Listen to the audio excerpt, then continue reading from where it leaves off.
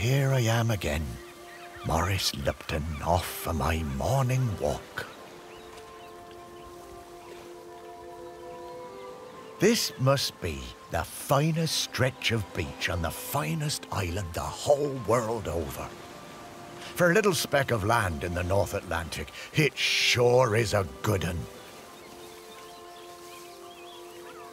Oh, I see those yoga folks up at the lighthouse are up bright and early, saluting the sun and all that. I always thought that looked like fun. Ah, but this walk isn't the same without Sparky. she did love chasing that tennis ball. oh, Sparky. I miss you, girl. Hmm, the crater's definitely been smoking more than usual lately. That's funny, that, for a dormant volcano. Shelmerston used to be a quiet place. You'd only come here if you like fishing or bird watching. But since the new ferry service started, we get loads of tourists. Ah, but what you gonna do? It's always changing. Yep, Shelmerston's a smashing place. I'm lucky to call it home. Ah, the bench. yeah, this is, uh, well, it's my bench. The museum paid for it because I was the, uh, the curator there. Yeah, and they did that to remember me because, uh, oh yes, I am dead.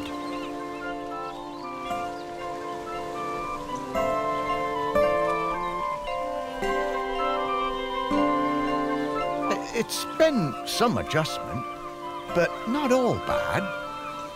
Hmm. Yeah, I, I should probably go and check on the museum, actually.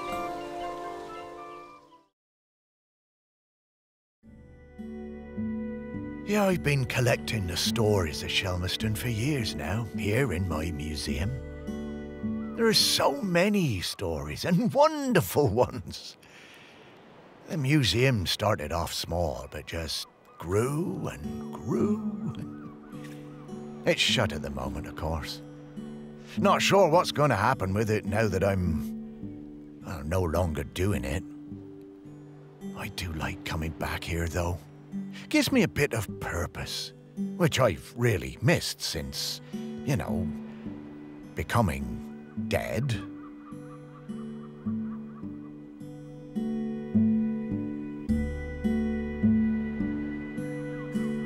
Oh, one thing that's been keeping me amused.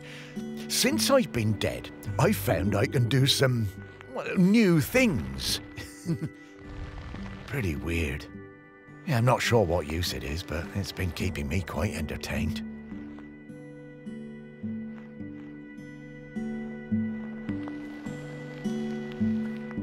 Ah, but the novelty's worn off. I mean, it's been, well, I don't know how long exactly, but an awful long time since I've had anyone to talk to. Well, anyone who talked back, anyway.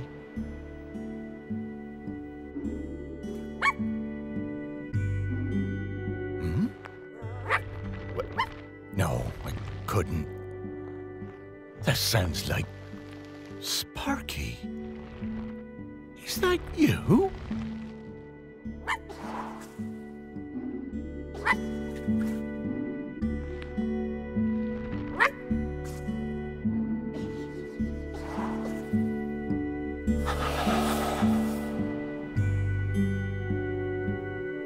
Morris, come with me. I need to show you something.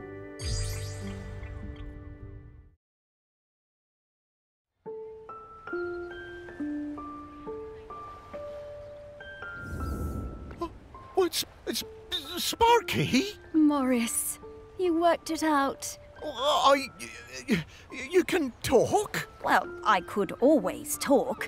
You just couldn't understand me. And, and you can hear me. Well, sure. You are talking, aren't you? Oh, Sparky. What is it, Morris? It's been so long. I never. I thought I'd had my last conversation. Oh, I'm so very glad. I'm glad too, Morris. I've been waiting for you. We need to go. Oh, wait. Are you really my Sparky? M- my Sparky girl? Mostly. The best bits. But listen, I don't know how long before the volcano erupts, but it's not long now. The volcano I- I- erupting? But it's, but it's dormant. No, no, no. It has been dormant because of the custodian. But the custodian is weakening, and we don't know how much longer they can hold on. Uh, the custodian? Uh, what are you talking about? Shelmerston is volcanic. It's supposed to erupt every once in a while. The only reason it hasn't is the custodian, keeping the island calm. Custodian keeping the island calm? Take your time, Morris. Dogs are better at understanding this kind of stuff than humans. The custodian is a ghost. Yes! Now you're getting it. The custodian is a ghost who appeases the island, keeps it safe to live on. But the current custodian has been doing the job a long time and really needs to retire. Oh, and the island needs a new custodian. That's right. It's up to us to find a new one. There are five prospects that I know of. Five ghosts still hanging around the island who haven't gone into the west yet. We need to find them and see if they'll take the job. What if none of the prospects wants it? Oh, if the current custodian fades away and there's nobody to commune with the island's spirit, well. Oh, well, that would be bad. Bad how, Sparky? Volcano bad. You've seen how it's smoking. We don't have long now. Well, could I be the custodian? Oh, I wish. But Ghost Code 342b dictates that the custodian must be a ghost who has been dead on this island for at least a thousand days. And we don't have that long. Ghost Code 342B. Yeah, well, I suppose that makes as much sense as anything else. Right, let's get going, Morris. Our first prospect is Peter Noach. Oh, yeah, from the yoga centre. Yeah, he died a few years ago, didn't he? Yeah, I remember his funeral on the lighthouse. Yes, yes, that's the fella. He always had those funny green treats. Let's go pay him a visit.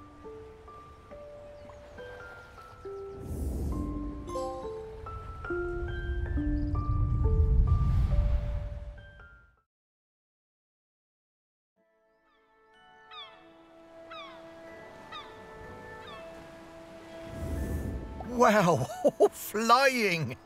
Oh, this feels nice. What?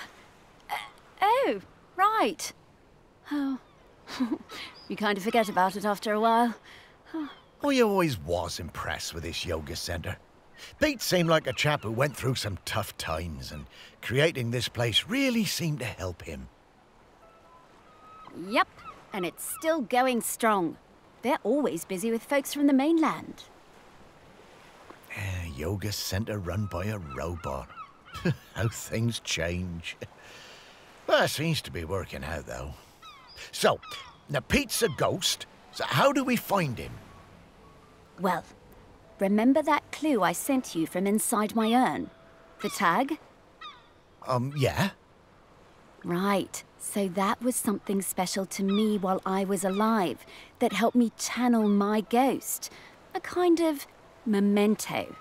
So we need to channel the ghost of Peter Noach. And to do that, we need to find his mementos And how are we going to do that? by looking into the memories of those who loved him best. People with memories of Pete will have little thought bubbles coming out of their heads. Those are a sign you'll be able to dive into that person's memory. Hmm. I suppose that's hardly the strangest thing I've heard today. Oh, Morris, just you wait.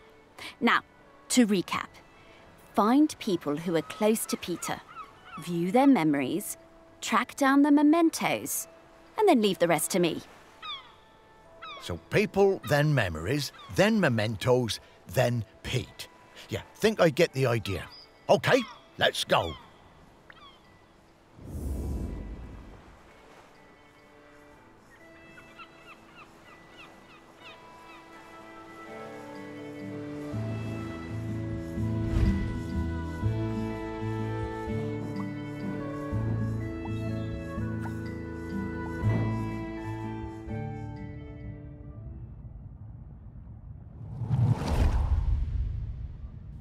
Was hard to read, you know? Strong, silent type. But you could tell he loved his collection of Buddhas. He said they were like fat little soldiers that kept him safe. To be honest, I thought that was a bit odd. But he was a great teacher.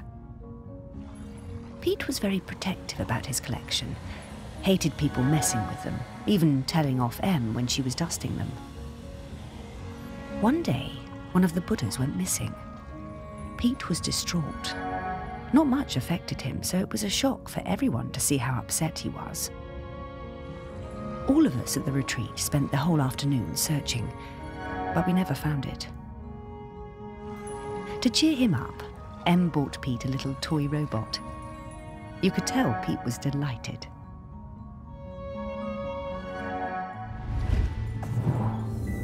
Ah, what a lovely gesture.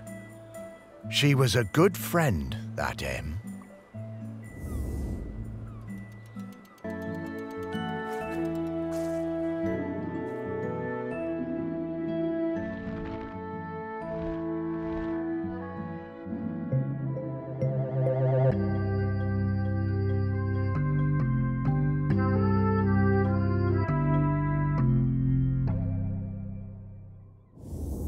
Oh, what a nice little fella. I'm glad we found him.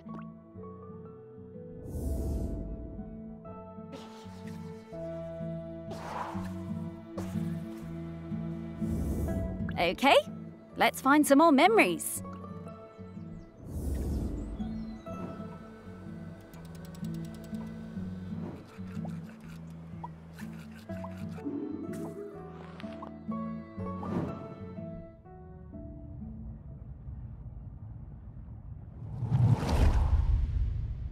I just got divorced and really wanted to go on a golfing holiday, but my best mate Tammy somehow talked me into doing a yoga retreat instead.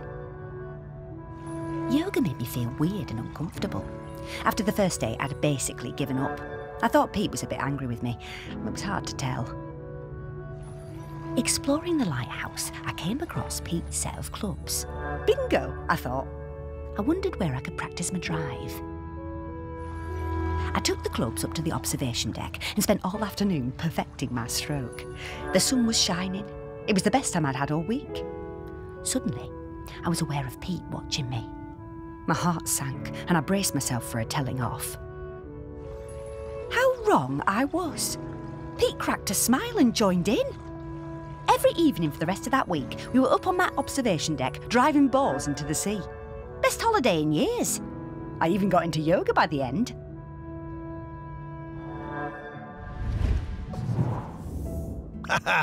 I guess old Pete had a light side after all.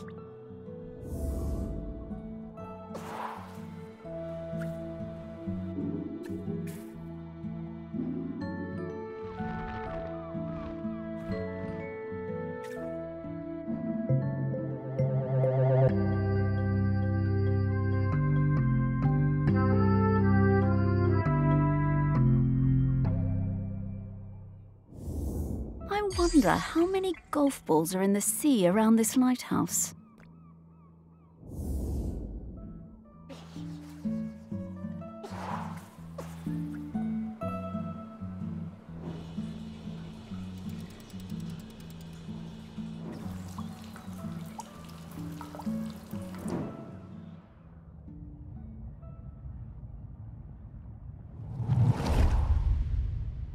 When Pete arrived at the lighthouse, he needed help running it, but refused all offers. Eventually, fearing the possibility of a shipwreck, Trinity House sent me to Shelmerston to help keep things running smoothly. I bought Pete a plant as a welcome present. He introduced himself very quietly, but didn't seem to want to say anything else. He seemed distracted, like gravity was pressing down on him harder than other people. Whenever I would enter a room, Pete would mutter some excuse to leave. I didn't have a single conversation with anyone in months. Eventually, Pete noticed the plant. Then Pete noticed me. That was the start of what became this plant room. We spent hours in here over the years, sowing seeds and tending our plants together.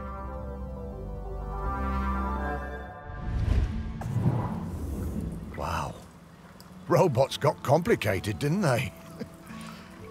yeah, I didn't realize how important Em was to Pete. I suppose everyone needs a friend. Ah, Sparky?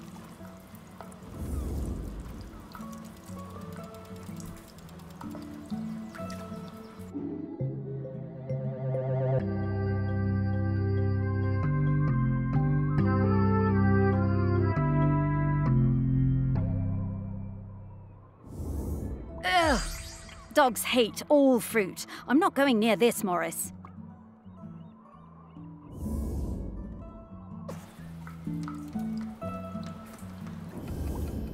Hey, I'm starting to pick up the scent of something else here.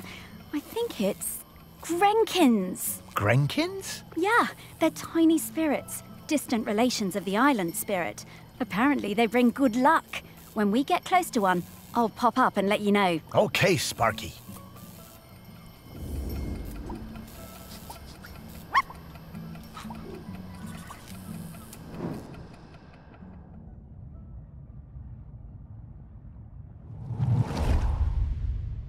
I met Pete for the first time on a yoga retreat in Goa.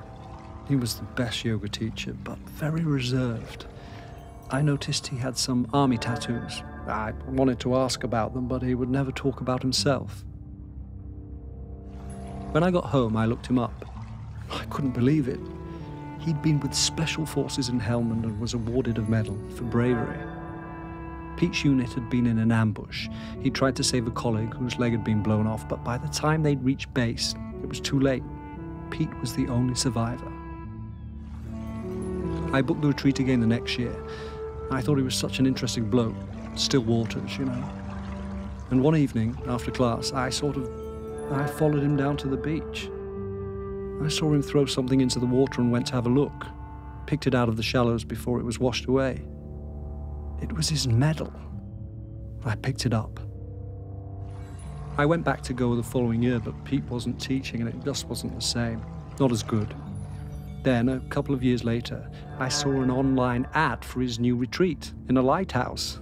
I booked immediately. I took the medal with me. Perhaps he would want it back. It was the same Pete Noach, and if anything, he was an even better teacher. One coffee break, when I got him on his own, I brought up Helmand in conversation. I wish I hadn't. It was like a shutter coming down. I, I didn't mention the medal. I kept coming back for the yoga, and you know, over the years I saw Pete mellow. I think the lighthouse was doing him good. He even cracked a joke with the group once in a while. So, that summer, the one before he died, I decided to act. It was the day I was leaving, and I showed him his medal. There was a moment of total surprise. I was worried then. But he took it. He turned it over in his hand. The poor guy was lost for words. He gave me a nod of thanks and slipped it into his pocket. I'm glad he got it back.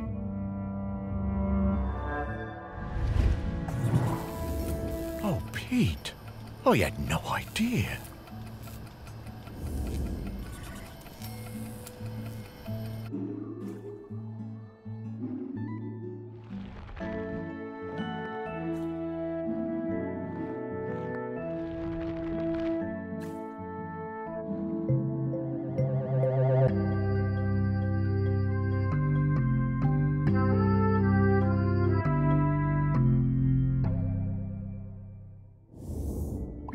Is a conspicuous gallantry cross. They don't give those to just anybody.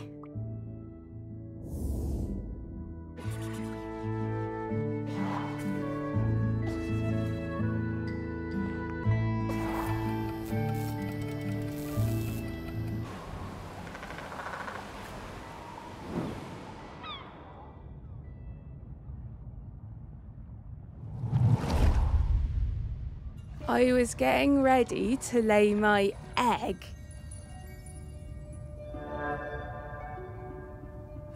But my nest needed that little something extra. I found the perfect thing. The human and that metal beast seemed quite agitated at their loss.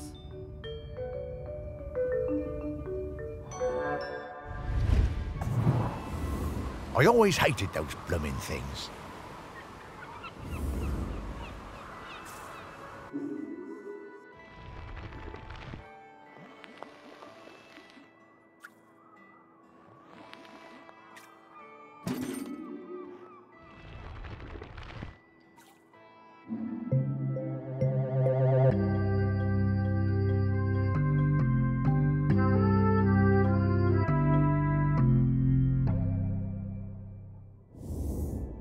Are actually very good at solving these. They're just hard for us to turn.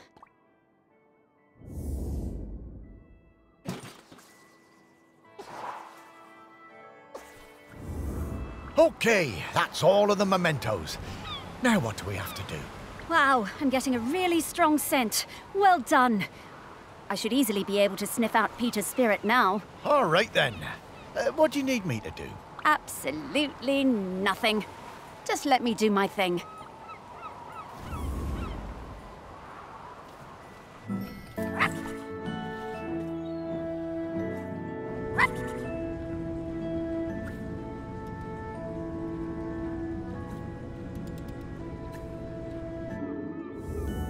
Okay, we're in the right place.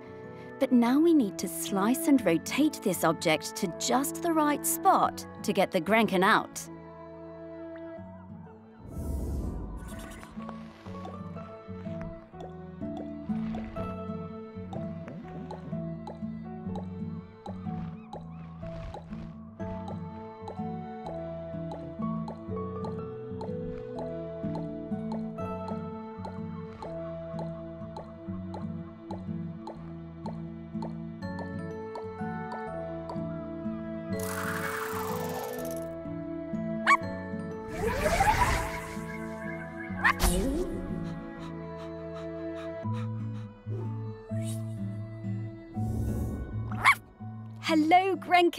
Good to see you. Morris, these spirits have been on Shelmerston for thousands of years, and they bring good luck. We should definitely keep finding them.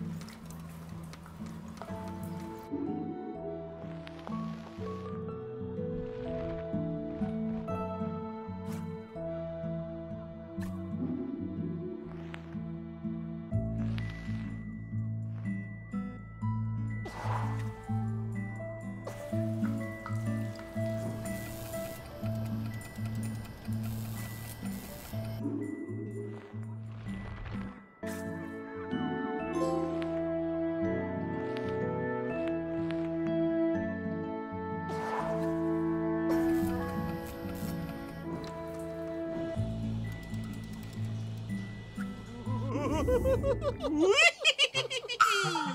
no, not this guy. Hello, ready for some fun? Oh, uh, hello. I'm Mr. Whitstable. Welcome to Mr. Whitstable's riddle game. Morris, uh, we don't have time for this. Let's get back to work. Mr. Whitstable just wants you to enjoy yourself, solve my riddles, and achieve true happiness. Oh, these do seem kind of fun. Whatever, Morris. Oh, Sparky. Um, okay, Mr. Um, Whitstable, uh, what do I have to do? Hooray! Just select one of my fiendish riddles, then go off and find the object it's referring to. Easy. Well, actually, they're really hard. Ha! Oh, we got this. Come on, Sparky.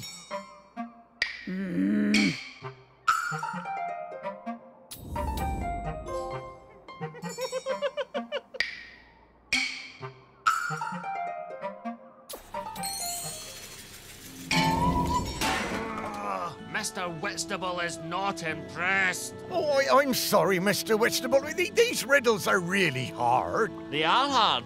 Maybe unfair too. But hey, if you don't have what it takes to become a riddle master, Morris. No, no, no. I, I, I'm sure I can figure them out, Mr. Whitstable. Okay, Morris, I'll give you another chance. You'll have to go back and choose which riddle you want to look for, and then think really hard about what the riddle could possibly be referring to.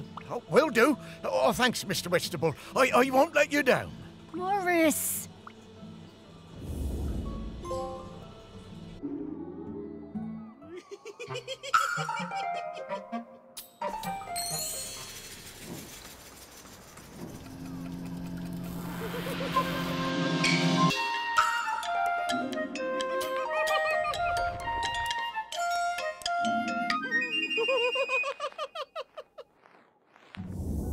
Ah, yes, you solved it!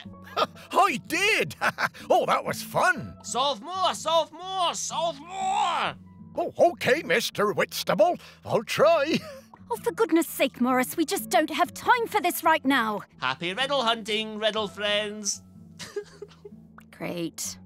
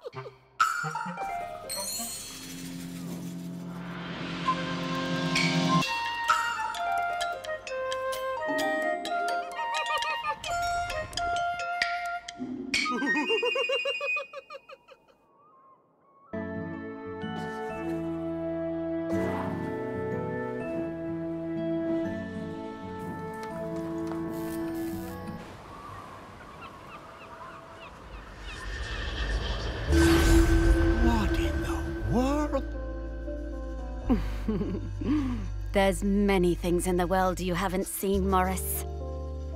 Tho- those things, eh? Yep. I mean, yep. Those are all of Pete's fragments. I just need to round them up. Well, go get 'em, girl.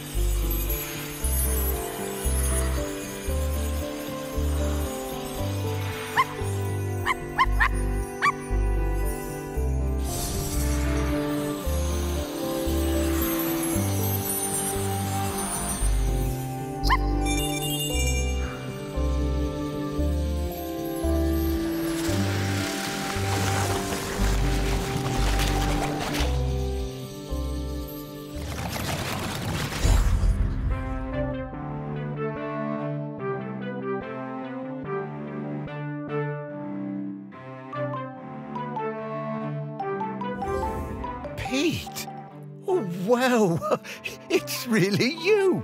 Well, it's me, Morris. Uh, uh, Morris Lupton. Of course I remember you, Morris. It's lovely to see you. How's death treating you? Oh, well, you know, it's a bit jarring, but, well, I'm having a nice enough time. But listen, Pete, we've come to ask you something. Do you know about the custodian?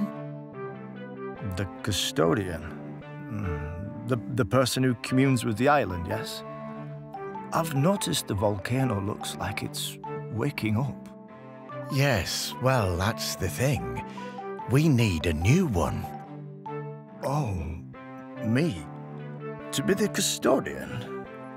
Oh, Morris, I- I'm flattered, but I don't think I'm the one for this job. I spent my whole life and my whole afterlife trying to find peace. And lately, I think I've found it. I'm satisfied with how things turned out. I'm finally ready to go into the West. I don't want to stay around any longer. Ah, well, um, well, fair enough. Would you want to come with me? I, I would be grateful for the company. Well, that, that's kind of you, but I, I do really need to help find a new custodian. Maybe afterwards. Hmm, I understand. Well, best of luck with the search then. I'm sure you'll find someone perfect for it.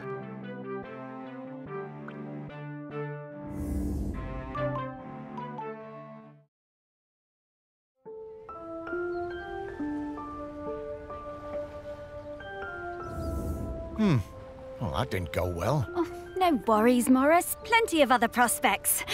Well, four. Hey, Pete mentioned going into the West. What is that? Oh, well, uh, that's a very complicated question, Morris. Um, just think of it as leaving all this behind, which is not something we can do now. We need to go find Val. They're opening the sculpture park today. Oh, is that opening already? Time certainly does move a bit quicker once you're not in the world. Talking to people, eh, it all feels so distant. Though, if I'm being honest, I suppose I was a little buried in the museum those last few years after. Well, you know. Ha! You know, you might say I started living like a ghost well before I became one. Oh, you weren't a ghost, Morris. That museum is full of life, and ghosts can't give belly rubs anywhere near as well as you did, trust me. Now let's get going. We're gonna find Val. Ah, yes, Val. I do feel a bit sorry for her, having her home invaded by all these silly artists. Maybe. But at least we have a laird who's interested in doing nice things for Shelmerston. Yeah, I suppose so. I was never sure about letting all those artists stay on Shelmerston, but I must admit that his heart's in the right place. Well, let's find Val then. After you, Sparky.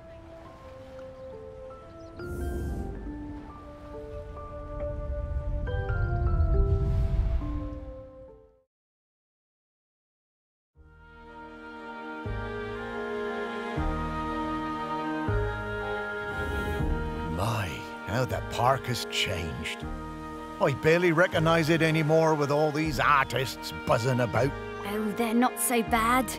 So many different and exciting smells. Yes, well, you and I have always valued different things in smells. And now we need to sniff out Val.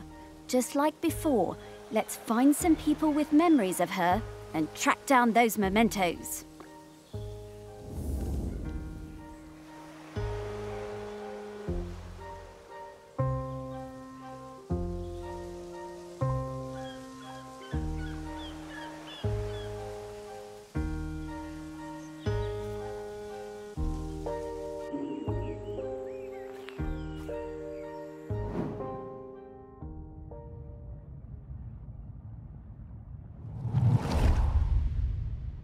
Gloves!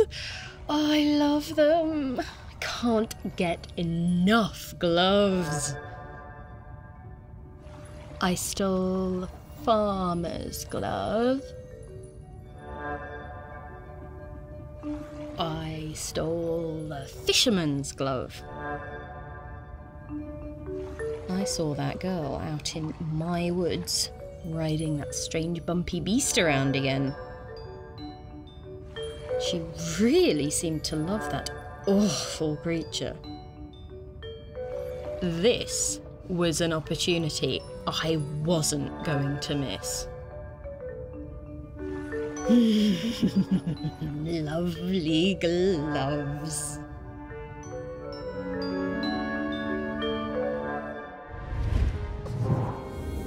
I always did suspect there might be something in those rumours about camels on the island. All that time, and Val never let on. Bless you, Val.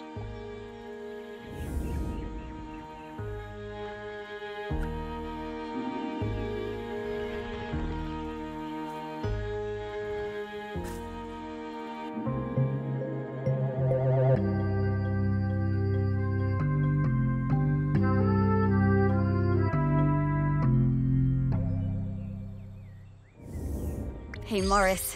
I bet you wish you were alive so you could rub me with this glove.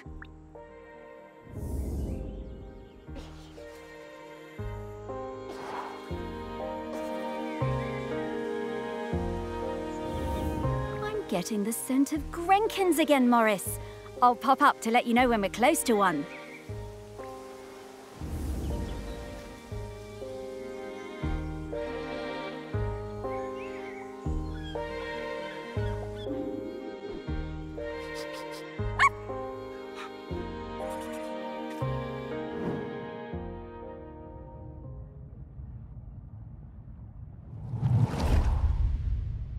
In the last summer, before our GCSEs, Val and me spent a lot of time together, usually wondering how we could get our hands on something to drink. No one on this stupid little island would serve us, though. One day, we were hanging around on the allotments near the quay when we spotted something. And so, later that night, We went into the woods behind Val's house to drink it, sitting on top of that ancient stone that they say protects the island. But there was no way we were going to get through it all. So we decided to bury the rest. A few weeks later, we went to dig it up again, but couldn't remember where we dug the hole.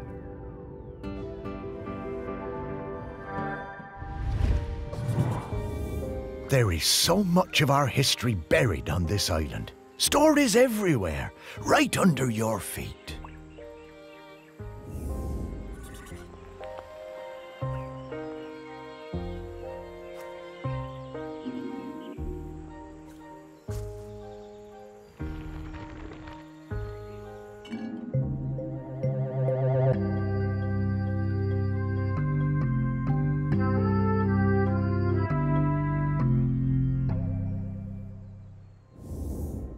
Wow, Morris, this smells incredible.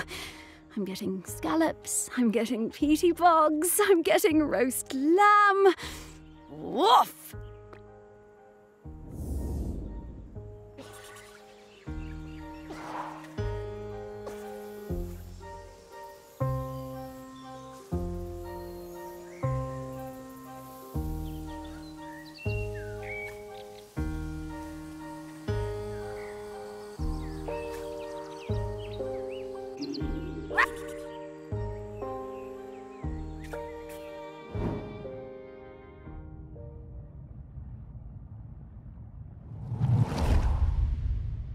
I spent the summer of 83 with Henry Outram, Laird of Shelmerston, in his grand hall working on a new piece. It was supposed to be about the volcano, but once I arrived, I found myself particularly taken by all the vales around the island. Henry was a delightful host, always excited to have us bright young artists around, and always ready with a charming question or a fortifying glass of something. His daughter, I think her name was Mallory or Valerie or something, was usually outside roaming the grounds. Henry said she was discovering herself and learning self reliance through independent play. She seemed feral to me. One day, I came across the perfect finishing touch to my sculptural masterpiece, but it turned out to belong to the wretched child. I tried to explain to her why I needed it, but she snatched it away and walked off. I went to Henry, thinking he could make her give me the boat. But to my astonishment, Henry told me it was up to her if she wanted to give it to me. Henry called his daughter and we all talked about it. When Henry suggested that maybe I could buy the boat, her little eyes lit up. It cost me two hundred pounds for that little wooden boat, but well, it was worth it.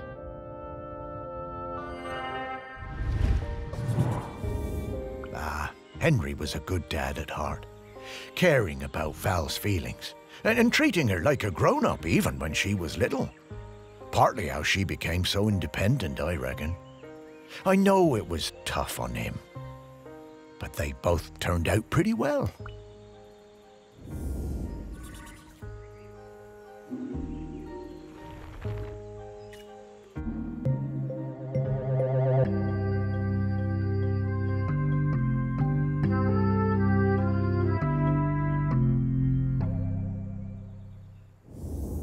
I wonder how many people even saw this.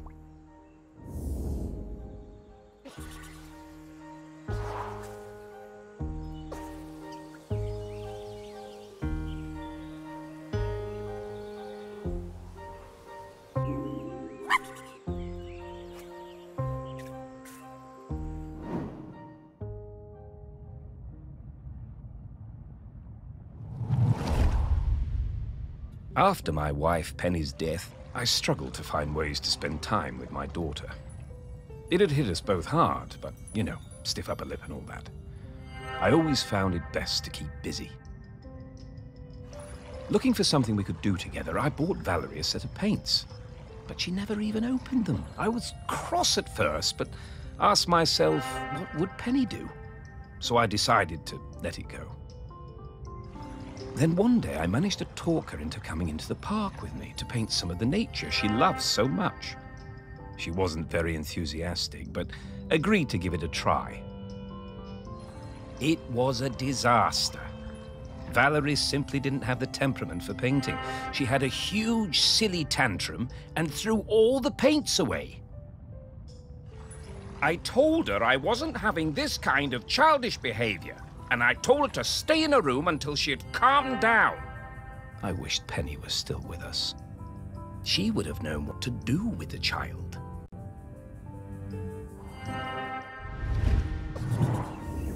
Hmm. Very hard that to lose a parent. Was never going to be easy after her mum died, but he always did seem distracted with his fancy art projects.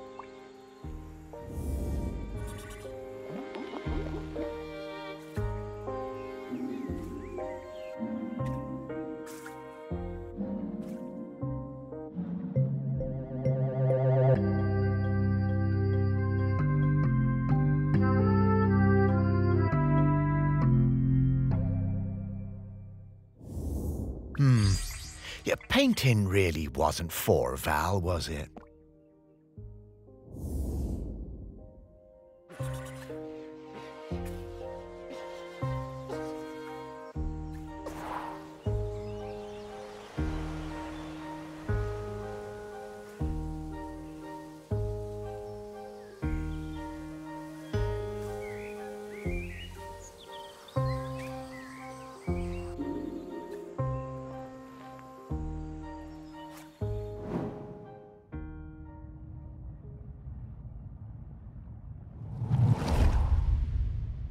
The famous sculptor Vernon Russet was working on a huge statement piece in my honor. A statue of a camel with my head. When I saw it, I felt quite uncomfortable, but I didn't want to upset him. Poor Vernon could be awfully temperamental, sinking into dark moods for days. The week before the public unveiling, Vernon had me visit the statue. He needed to make some final adjustments to the face. Valerie came along too. She looked like thunder. She hated that statue and wasn't afraid to show it. I couldn't help thinking how like her mother she was. When the statue was revealed, the nose was missing. Fortunately, we all managed to cover our surprise and act like nothing was wrong, so no one was any the wiser. Some fellow from the Times wrote a glowing review, so Vernon wasn't too glum about it. I'm pretty sure I know what happened to that nose. Aha, the old Outram spirit. Good for you, Valerie. Your mother would have been proud of you.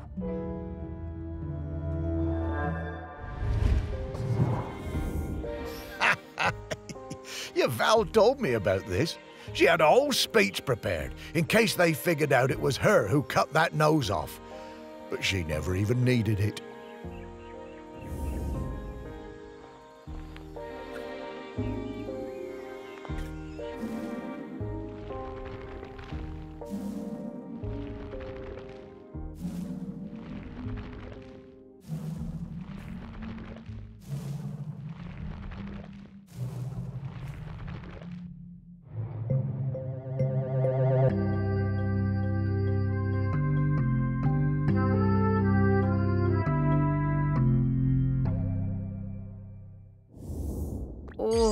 This thing looks heavy.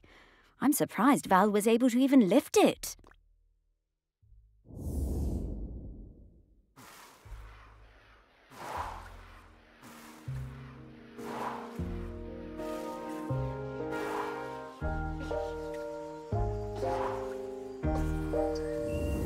Oh, we did it! Oh, yes! I know what Val smells like now. Her signal is wafting through to me very clearly. Time to fly.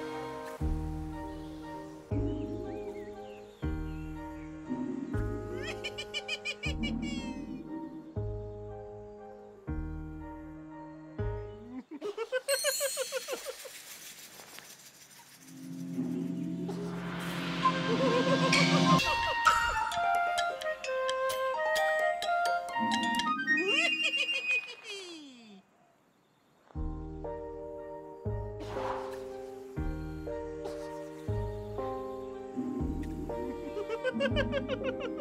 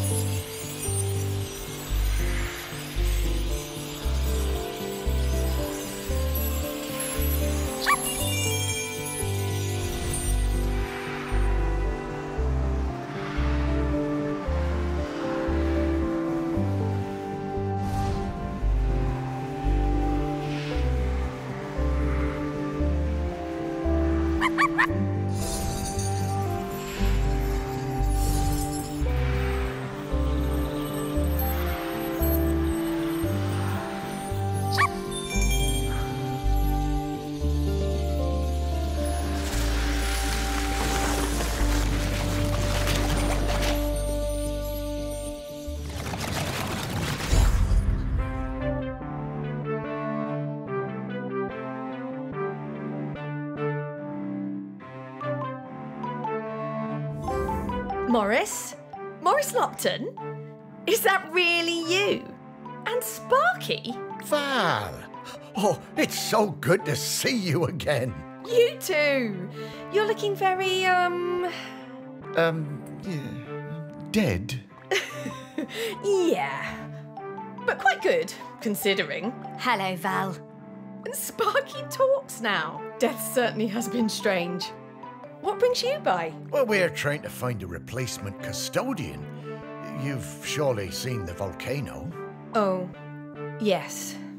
Poor Aggi. Must be very tired. Aggi? Aggi is the current custodian.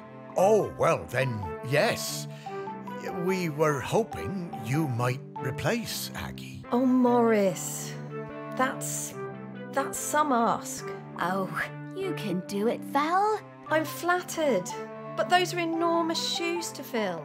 And I'm not like you, Morris. I don't love this town like you do. And if I'm being honest, I can't abide all those arty types and mainlanders tromping around. I can't speak for them. This job isn't for me. Oh, well, I'm sorry to hear that, Val. But, uh, well, I understand. Thank you. It's been so nice to see you again. You too, Val. Um, Sparky, I'd love to spend some more time chatting with Val. Oh, I'm sorry, Morris. We really need to keep this search up. That volcano is looking dire. Come back later, Morris. I'll be here. Oh, well, all right, Val. I'll find you later. Goodbye.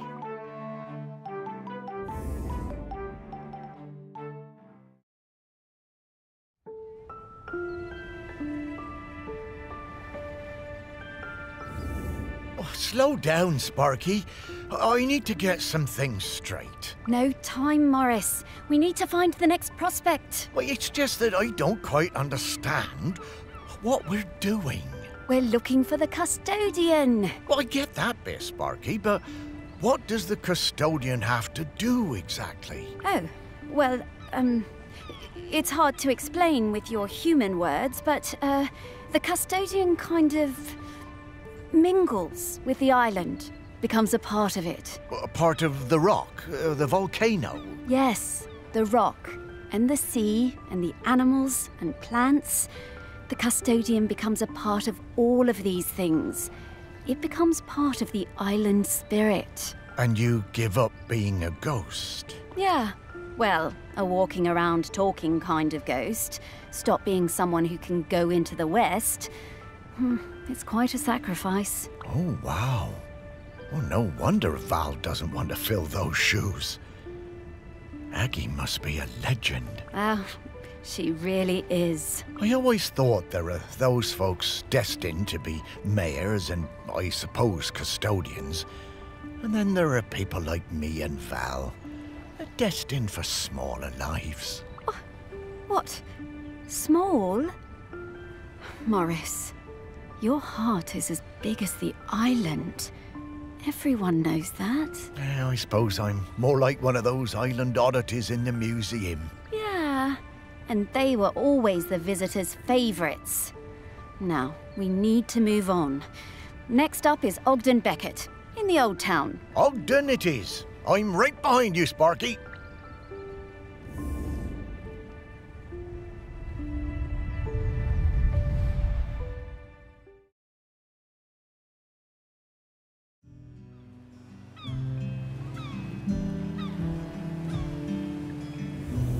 So, Ogden next, eh?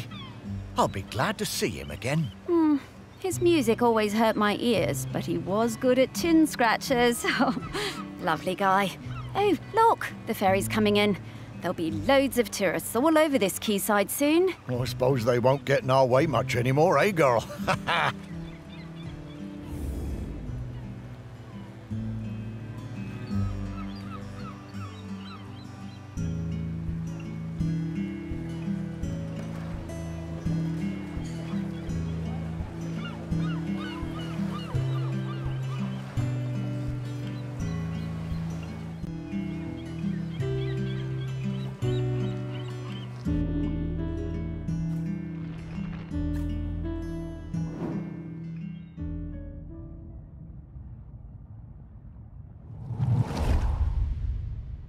remember we was walking home from school, a bunch of us, and I told him my grandad said the lad had a live Bactrian camel living somewhere in the woods. Everyone laughed, but I told them it was true. Ogden didn't believe me. Someone would have seen it. He dared me to climb in and prove it. I told him he'd have to come with me. Sneaking past the big house, we were almost caught by the gamekeeper and had to run. Hell for leather for the woods. We reached the trees out of breath. I was bent double and leant against a tree. Ogden had better breath control and he recovered quickly. He saw it first. The clouds parted, the moon shone down, and Ogden gasped. And then I did too. Was it? It was. The next day, we were kicking ourselves. We had no proof. No one was going to believe us. But we knew what we saw.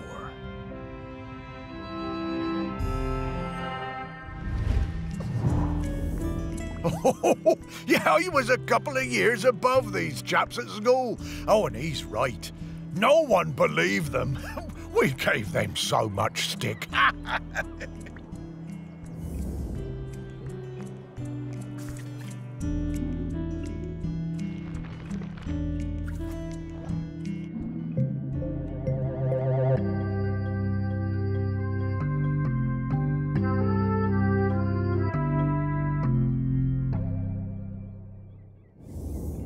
Camels are so obviously a made up animal. Humans will believe any old rubbish.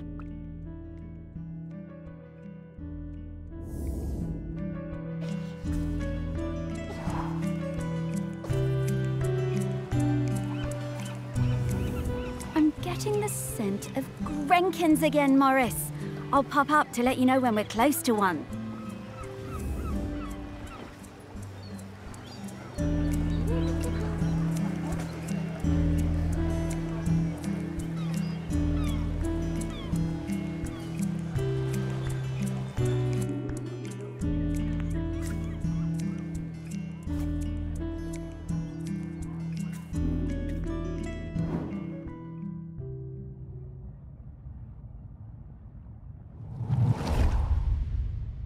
It was the day of the island cricket match out on the volcanic sandspit. We had lost to Appledore for the past three years, and it was my first year as captain. I didn't want another loss on my watch. Ogden had just come back from New Zealand and told me he'd be up for it. I wasn't sure. I remembered Ogden from school. He was lanky and good in the field, but batting, hmm, not sure. Ogden showed up with his own bat. He told me he'd won it in a pub in Dunedin and that it had belonged to a famous New Zealand player. I wondered whether I should put him into bat at all, but Ogden whispered to me that he'd been playing on deck all the way home. I knew Ogden wasn't a bluffer, but he was never the guy who got picked for the first team at school. Still, I had nothing to lose. Ogden hit a six with his first stroke. We went wild! And just when I thought it must be a fluke, he hit another and another. He was a machine! Ogden hit so many cricket balls out into the sea that we had to stop play. We'd run out. It was a stunning win, and we carried Ogden back across the sand and into the camel. Even though he'd won the match pretty much single handedly, he insisted it was all down to the bat and plenty of practice. Ogden was solid gold.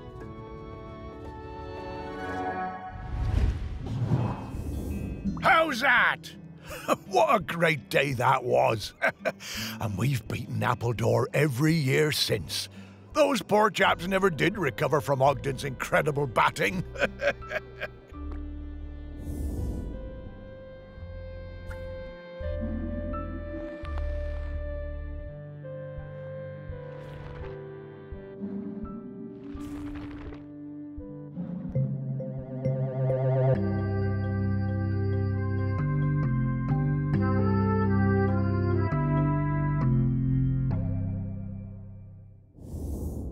Morris, remember when we found one of these heavy balls on the beach and I dropped it on your toe?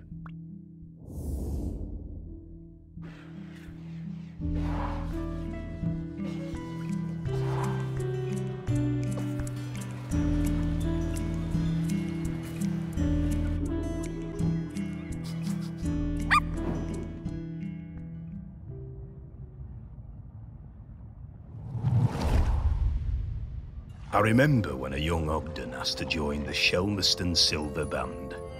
I recognised his talent immediately. He could play anything, that lad. Literally anything. Eventually, he settled on the sousaphone, which he always insisted on playing with his lucky bronze mouthpiece. One evening after the Silver Band played a storming concert in the Camel, Ogden and Sally got it into their heads to go for a night swim in the harbour, young love and all that. Ogden left his mouthpiece behind, and when we came back the next morning to pack up, it had disappeared. It really rattled him. Ogden was worried he wouldn't be able to perform without it. But of course, next time we played, he was just as good as ever. Didn't need any lucky mouthpiece, Sir Ogden. He could play anything, that lad.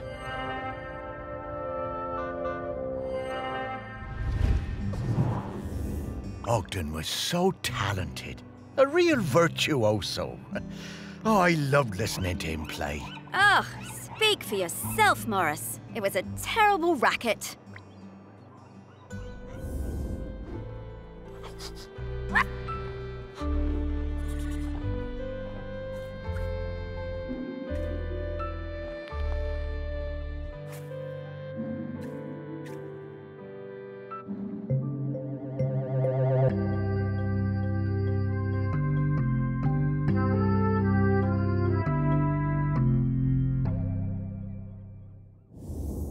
They seem to have been using it as a funnel. These bootleggers are very resourceful.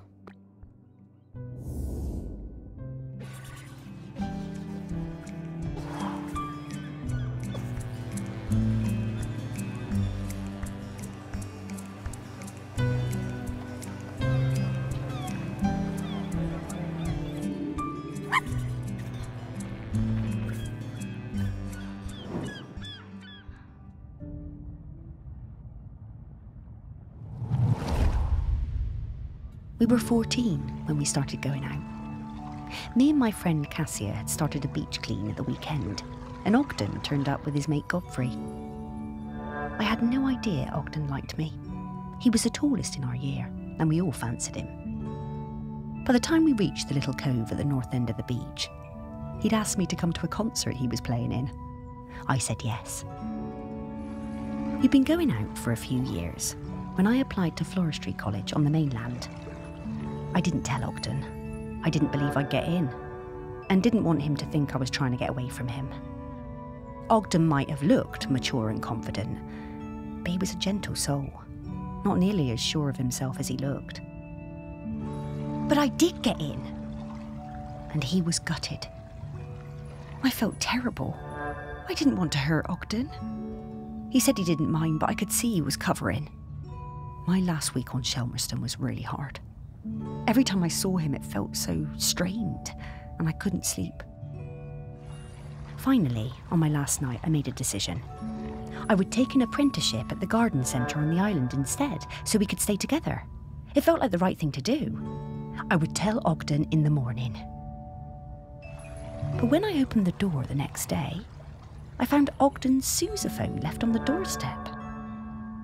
I was terrified. What did it mean? What had he done? I ran down to his house, my heart in my mouth. His mum, she never did like me, was a little bit smug. She told me Ogden had sailed off to New Zealand. He was headed to Christchurch, she said, and didn't know when he was coming back. Then she shut the door. I was more than a bit tearful, but, you know, looking back, I think we both needed to have a bit of an adventure.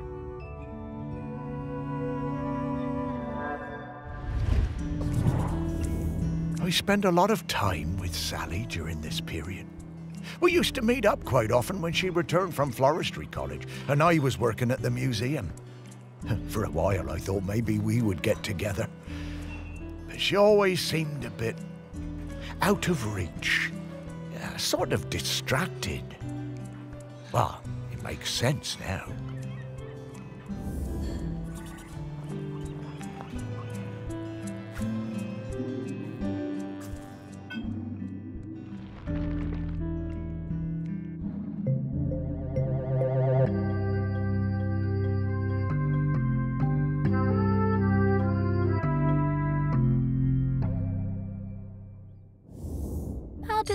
Get in there?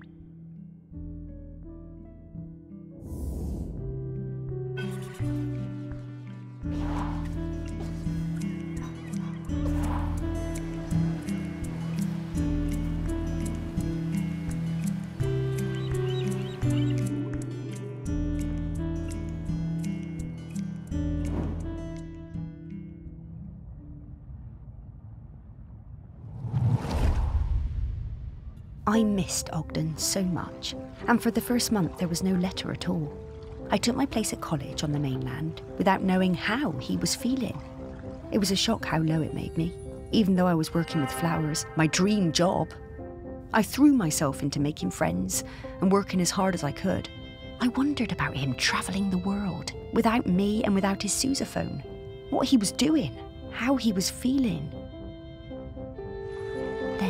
The letters started arriving, and it was amazing.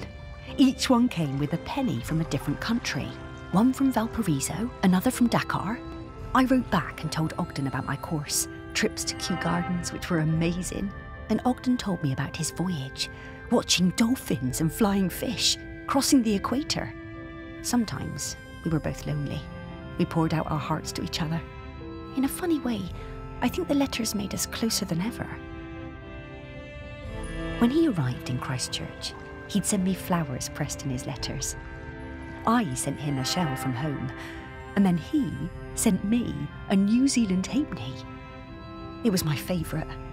On one side was the head of a Maori tiki. Ogden told me it was lucky. I came back to the island, and when my father died, I opened up my own florist shop on the quay. I tucked the halfpenny under the front step for luck, polished up Ogden's sousaphone, and put it in the window. They both brought me luck, and the shop flourished. One day, Ogden showed up at the shop, completely out of the blue. He told me there was nowhere like Shelmerston, and no one like me. I was so thrilled to see him, I asked him to marry me there and then. He said yes.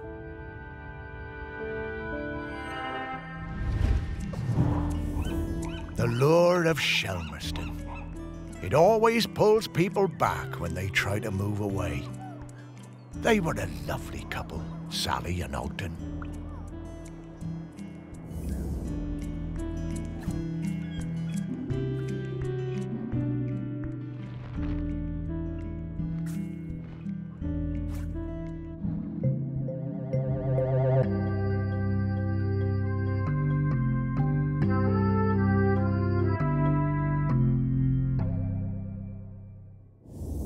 Yet one good thing about being dead, I'll never have to deal with counting change again.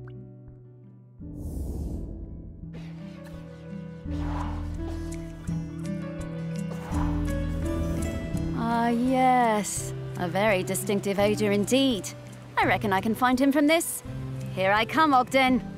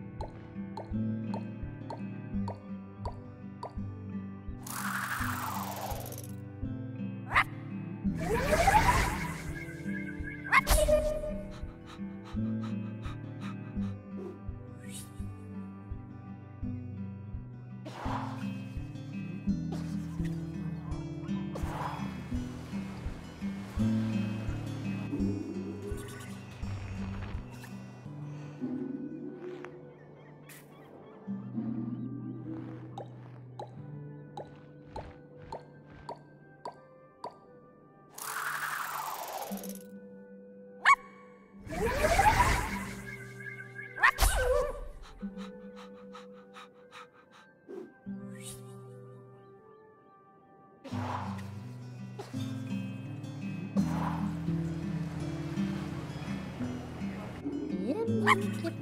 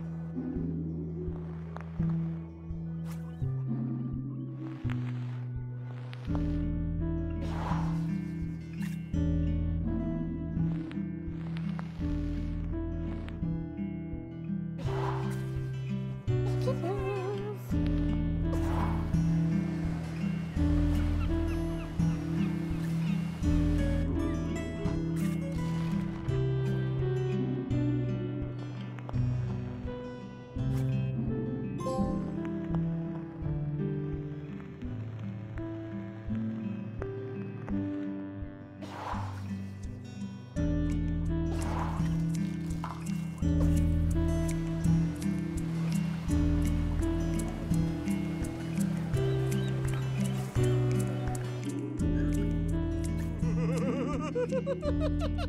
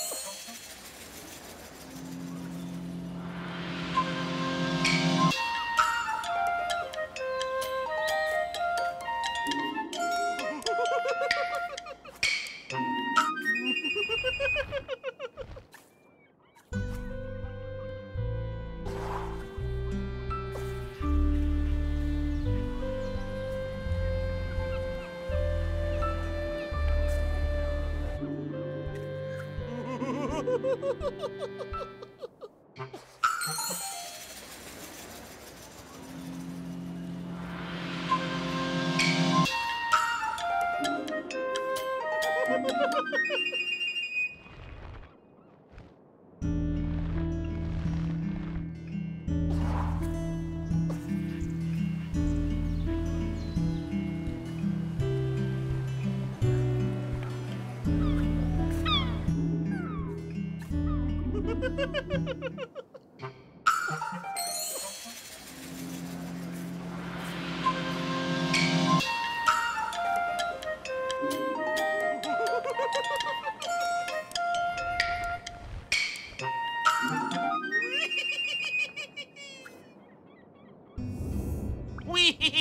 riddle me ree! You've solved half my riddles, my boy! Keep going, keep going. You might become the first person in a thousand years to receive Mr. Whitstable's special riddle reward. oh, wow! Okay, Mr. Whitstable, we'll keep at it. Why?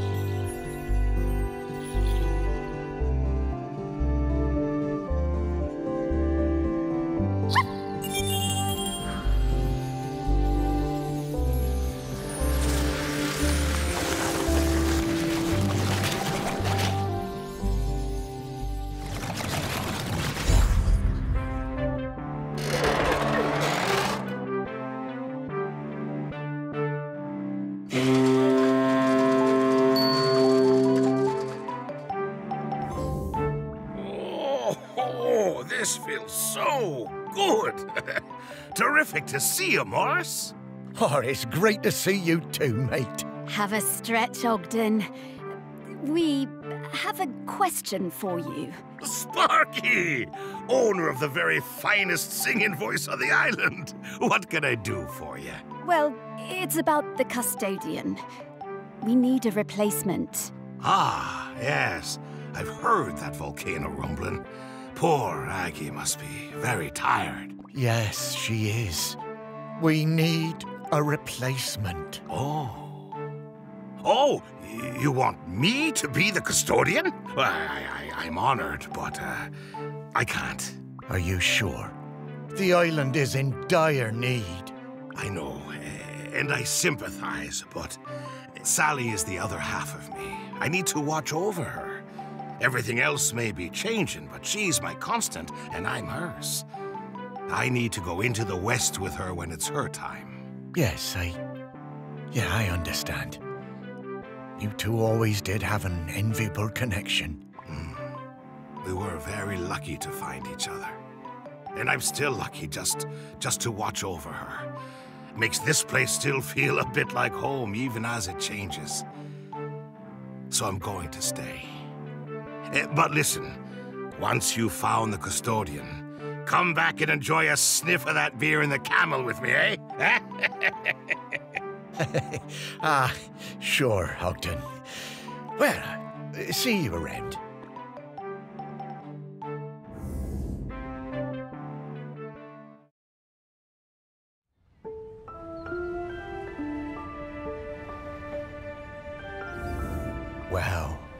After all these years, Ogden still carries that torch for Sally. I wish I'd been so lucky. Things I should have done. You were busy with the museum, Morris. And you did walks and you did fetch and belly rubs and. yeah, all right, all right, yes. I was very busy. Thank you for reminding me. You did plenty. But now you need to find the next custodian. Hey, how long has Aggi been custodian? Oh, a little while now. You've met her, actually. I have? Well, her body, anyway, in the museum. What? Her her body? In, in, in the museum? Oh, wait! That's right, Morris. The Bog Lady. The Bog Lady of Shelmerston. But that's Aggi? Mm-hmm. Well, that's her body, anyway. Her spirit is all around us, of course. But Aggi is Bronze Age. Uh, 3,000 years. She's been custodian all that time? Yep. Wow. No wonder she's tired. More tired every minute. We need to get to the next prospect. Greg Litherland, at the campsite. Hmm, Greg. Okay.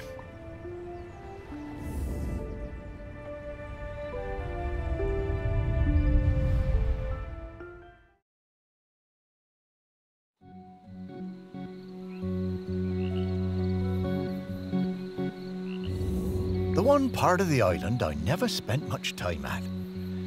I never cared for camping.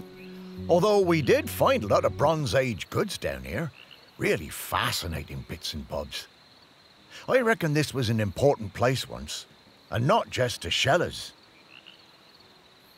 Oh, oh, there's so many great smells here. Oh, and so many rabbits to chase. Stop it, Sparky, you have a job to do. You know, I suppose I do like it better up here now I don't have to worry about combing all those burrs out of your fur. At least this part of Shelmerston isn't changing too much. Yes. Now let's sniff out Greg. Yeah, I always found Greg a bit difficult. That business with the owl of his. Eh, he wasn't a bad guy at heart. Just liked animals a bit more than people, sometimes. Maybe. But who can blame him? Let's find some people who remembered him. Dig a little deeper. Memories of Greg Litherland. Here we come.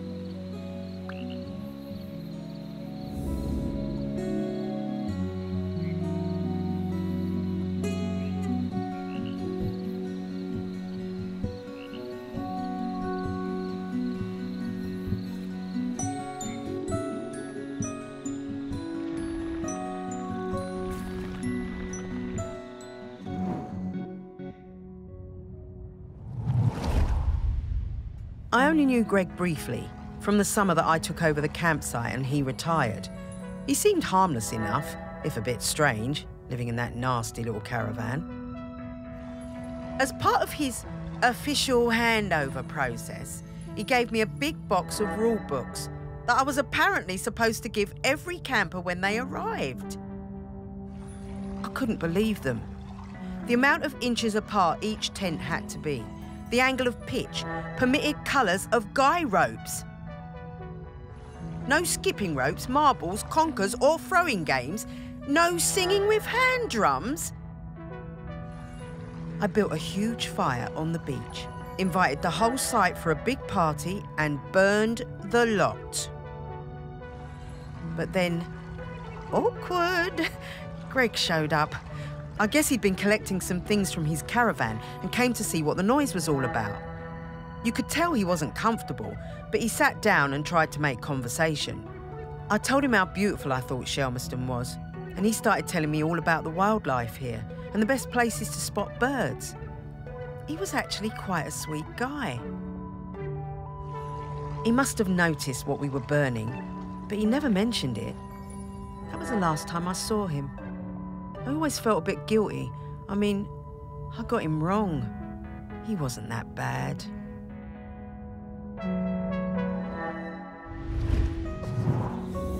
Well, it's a good thing she kept one of them.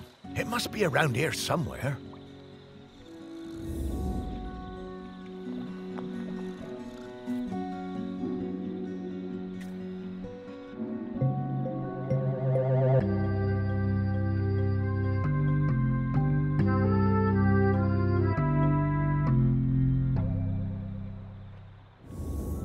What's this about dogs having to be on leads the whole time? Mm, outrageous.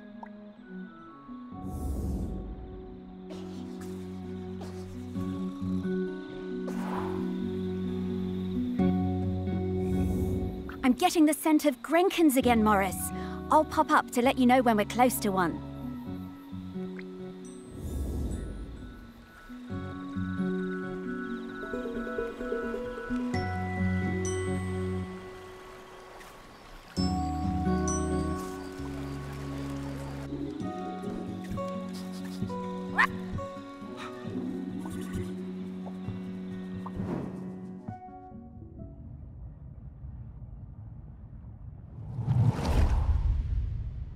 Miles and I came to Shelmerston for the Sheller Cup final. Miles was the world champion for ages. Greg, the campsite manager, was a huge Sheller fan. Always gave us the best pitch on the campsite. Miles was up early every morning training for the big race. Greg would always be lurking in the background, taking photos. It became rather annoying. How many photos did he need? Oh god, and one time he turned up at our barbecue and wouldn't leave. The man could not take a hint. So, race day arrives, and Greg is there with his camera, of course, getting in everyone's way. So, Greg leans out into the track as the pack came past, Miles in the lead, and Miles goes crashing right into Greg. Total disaster. Miles goes down and Quasi flies past him to win the race. Miles was absolutely gutted. He definitely would have won it. Later that night, all us Shellers were on our way back from the pub and we heard Greg outside his caravan, just sat by himself, crying. Miles, he was such a good sport, went over and spoke to him, invited him over to our camp for a drink. So then Greg came back and hung out with us, brought his camera and showed us all his Sheller race photos. You know, that guy was actually a pretty great photographer. By the end of the night, Miles had forgiven him. Miles was good like that.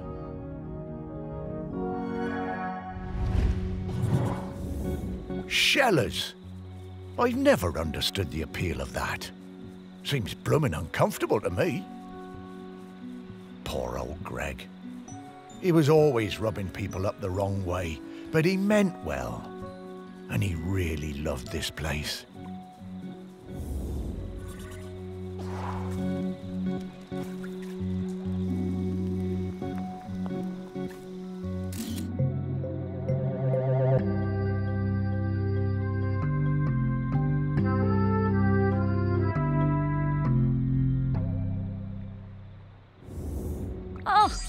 Wish we could use this! I am a very photogenic dog, you know.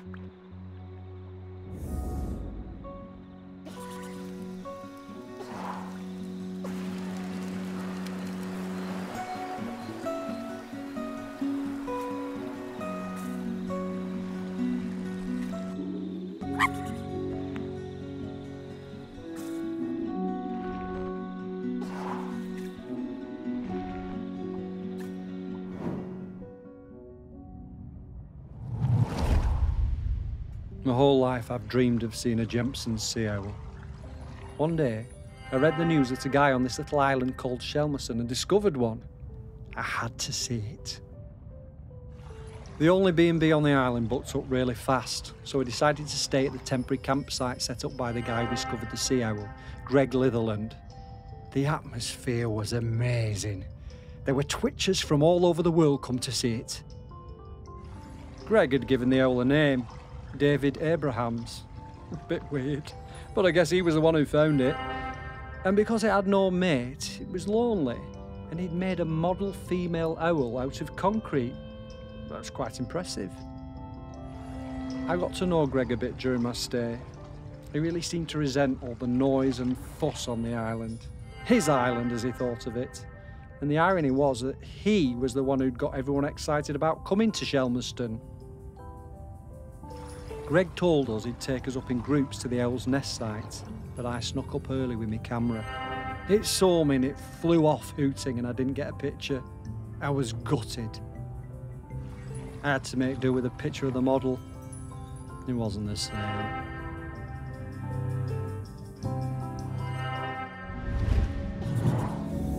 Ah, I remember that. All those bird watchers suddenly arriving and nowhere for them to stay. I didn't think Greg had it in him to start a campsite, but he somehow pulled it together.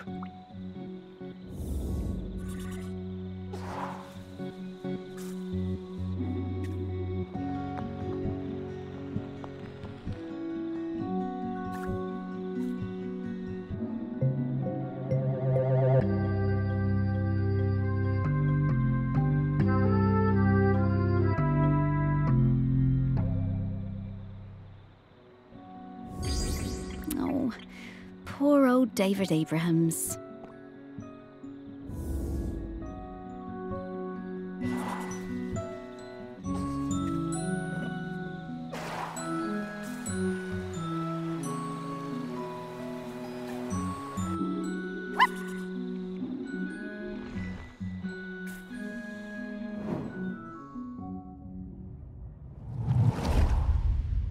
I love camping.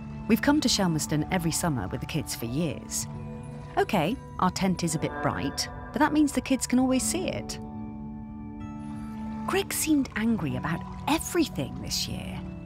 He told us our tent was outside of the regulation colours, and being around the kids seemed to really upset him.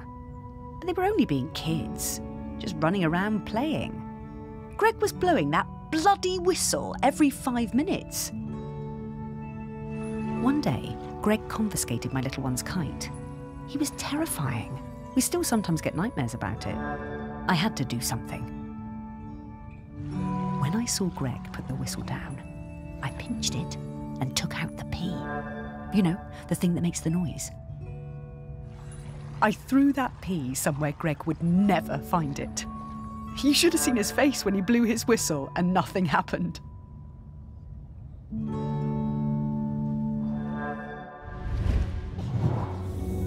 I always wondered how Greg managed to get so good at hand whistling.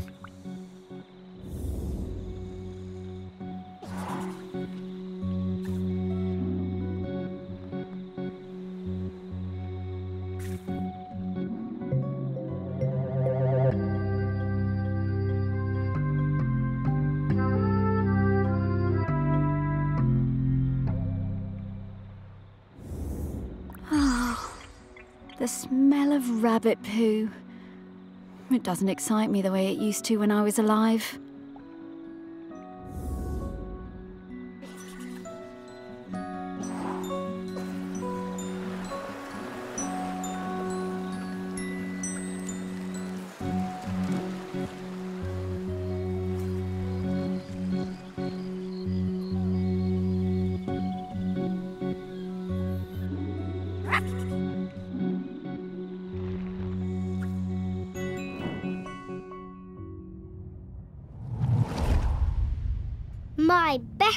Throwing discs. I am really good.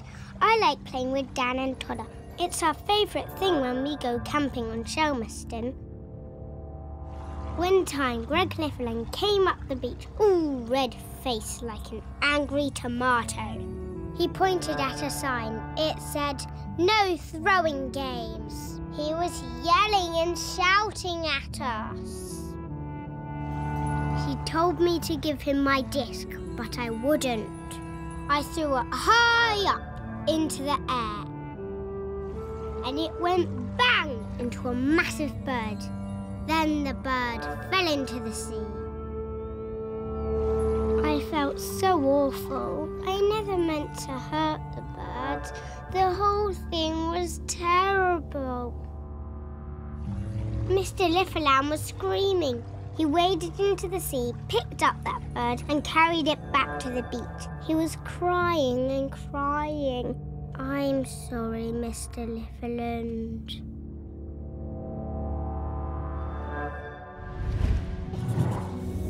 Oh, ah, Greg. Poor guy. Oh, and that poor bird. I guess that explains why he was always so prickly.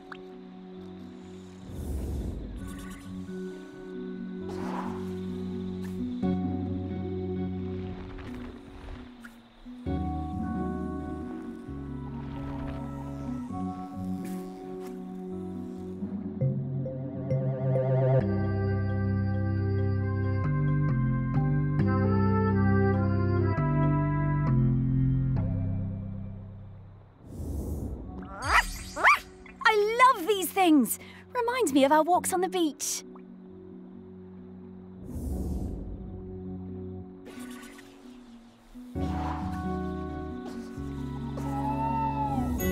Hmm. Hmm. Woof! Okay, I've got his scent. It was quite faint, but I'm a very good dog. Let's go find him.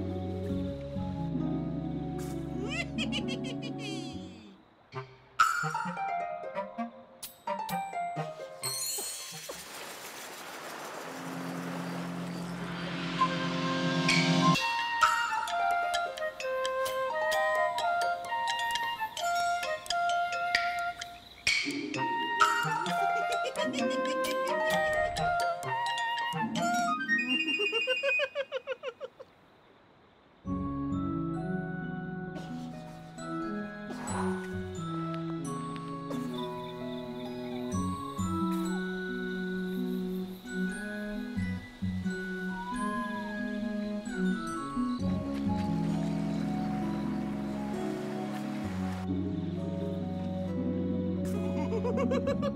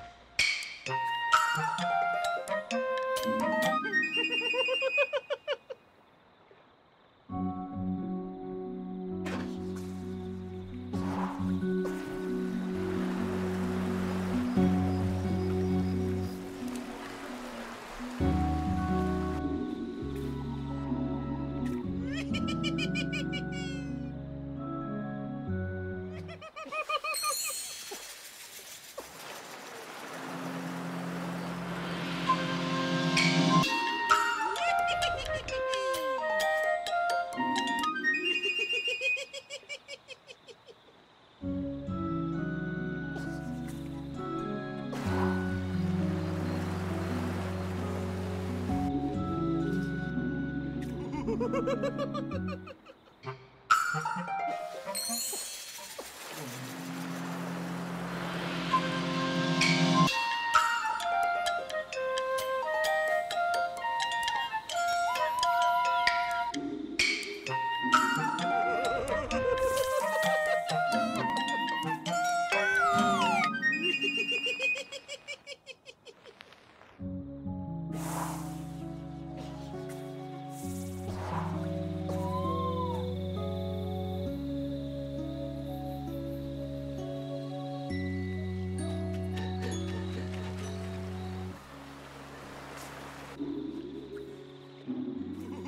Oh,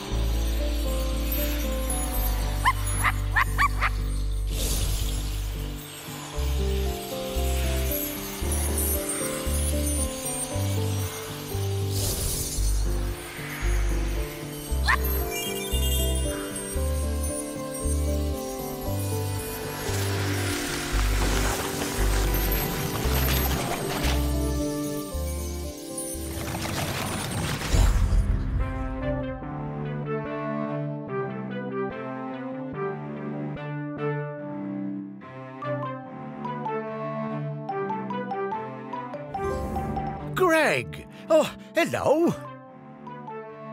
Morris, what are you doing here? Oh, hello there, pup.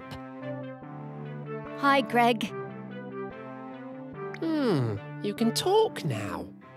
Rather prefer my animals when they don't talk. Yeah, Greg, uh, we need to ask you uh, would you be interested in being the next island custodian? It's a very important job. Oh, no, absolutely not. This is your mess, and you can sort it out. My mess? Well, how do you mean? You dug her up.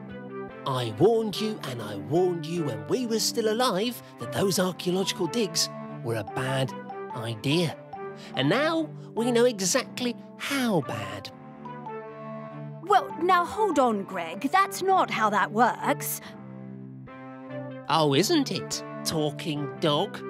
3,000 years, no eruptions. You dig Aggi up, and then suddenly her grip on the island is weakening? Well, some coincidence that sounds like. But well, I, I didn't. I, I never did. No, no, no, no. There's no way I'm doing that job. It's too much obligation, it's not my responsibility, and frankly, one lifetime of humans was plenty for me. Now, I'm going to stay right here until I can find David Abrams. Fine. Thanks, Greg. See ya. I suppose. Thanks, Greg.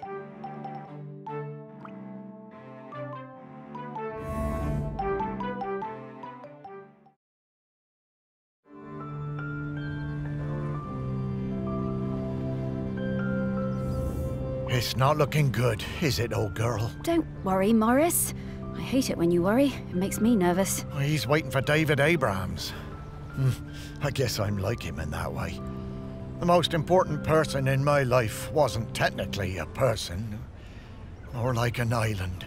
Yes, the island. This island. A whole island's worth of people and stories. Not like Greg at all. Everyone loves you. Really? Well, loved me, perhaps, past tense. No, they still do. And there's one more person who loves you we need to talk to. Our last prospect. I just know we're getting close now. Hey, Sparky, how do you know all this stuff? I mean, you're just my dog, aren't you? Well, nobody is just anything, Morris. I'm mostly the dog you raised, but I'm also kind of a messenger, a scout, part of something bigger. Aggi sent me to help guide you. Aggi sent you? No time to explain, Morris. We have to get to the last prospect. Well, however it came to be, I'm glad I get to spend more time with you, old friend. So am I, Morris. Now, off to see Samfire down at the harbour. Ah, Sam. Yeah, lead the way, girl.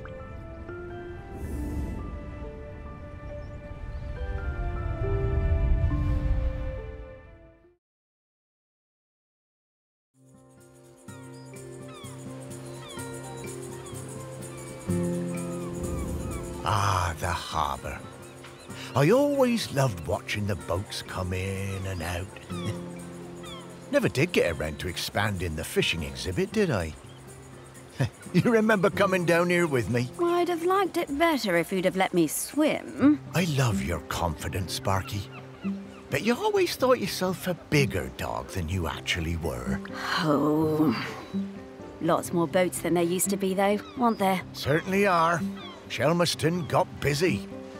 Though this is busier than even I remember. Say, how long have we been doing this search? Oh, I don't know, Morris. Once you're dead, time seems to be a bit less important. Does it? Oh, I don't know. I suppose it seems a bit galling that time and everything else keeps moving even though I've stopped. Makes a man feel unimportant.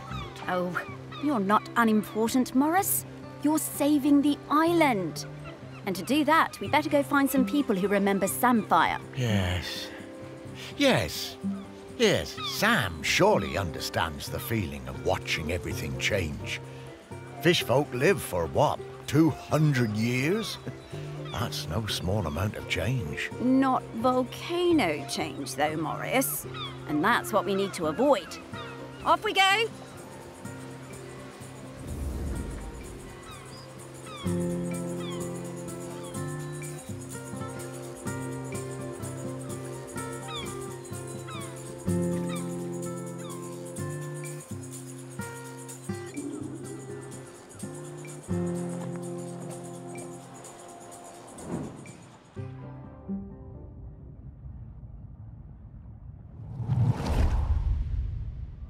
It was the sixth summer after I spawned that I went to my first Aggi's Day ceremony. You know, Aggi, the dry sider who saved the world from cracking in two. We don't go on land until we're six years old. It's all swimming, wafting around. Standing up is hard at first, the weight distribution. Anyway, I, I went up dry side for the ceremony, and that was where I first met Sam. It was so loud and hot out there, all that shell blowing. I was bored, and my body felt dry and heavy. I was too young, really. There were souvenir stalls selling bracelets with little stones of polished lava. I wanted one so bad I would not shut up about it. Sam saw I was fed up. They took me up the beach, away to the dunes, and Sam gave me a little polished stone of my own to play with. Had a heart of gold, they did. It wasn't until years later that I found out it was a tiny replica of the one Aggi died on. We became good friends. Sam helped a lot. They were always on my side. My pod, we were quite traditional, didn't like us working with the dry siders, but Sam talked me into going for the job as a diver on the new harbour. If it wasn't for them, I don't think I'd have tried. That stone was my lucky charm. I took it with me when I went for the interview, and I took it down with me when I went on my first dive. I had a pocket made specially in my tool. Sam took me under their fin, invited me out to the camel, and let me stay with them and Blythe on the ferry if it was a late one. And there were plenty of late ones. Karaoke nights are still my favorites.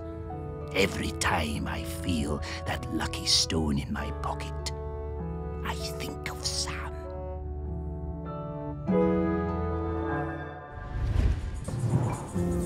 I remember all the fish folk coming up on the beach for Aggi's Day when I was a lad. Seems less of a big deal these days. I guess they still celebrate it, but, well, it's a lot more sedate. Back then, oh, it was a huge event.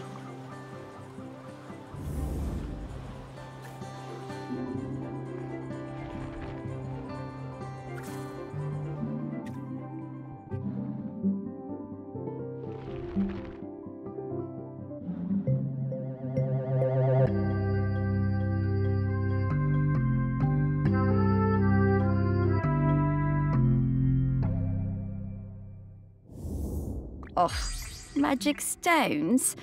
I knew humans were superstitious, but I thought the fish folk would be a bit more savvy.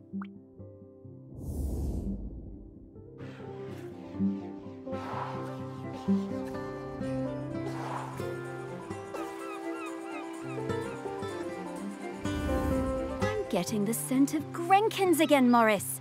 I'll pop up to let you know when we're close to one.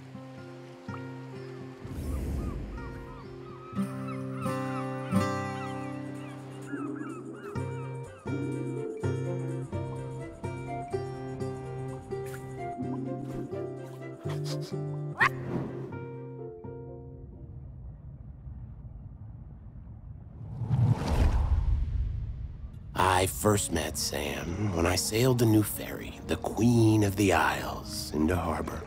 Of course, I'd heard of the fish folk, but I'd never met one. Sam was an amazing pilot, knew the waters better than any boatman. It was strange steering a course for someone actually in the water, but we never went wrong with Sam to guide us in. Next time I was in Shelmerston, we went for a drink at the Camel. I'm more into bats than beer, but Sam was intriguing, and the atmosphere in there was great. Like a warm nest. Great band, too. Awesome sousaphone player. I think we got on because we were both a little bit on the outside of things. Sam invited me over for toast and hot chocolate. Honestly, hot chocolate doesn't do it for me. But the toast, that multi seed bread. Sam made the best toast. I told Sam that next to a good cuttlefish bone, that it was my favorite snack. I stayed over. In the morning, we went for a walk along the beach. And just as the sun was rising, I took them flying on my back. We went up and looked down over the islands. Sam wasn't scared at all. They said it was like swimming through the air. It was on the next trip to Shelmerston. We just sighted land when Sam's head popped out of the water right beside my berth and passed me a fresh cuttlefish bone, carved especially for me. When we moved in together, it was the best day of my whole life. I put that cuttlefish bone on my bedside table within big. I still look at it every day, every single day.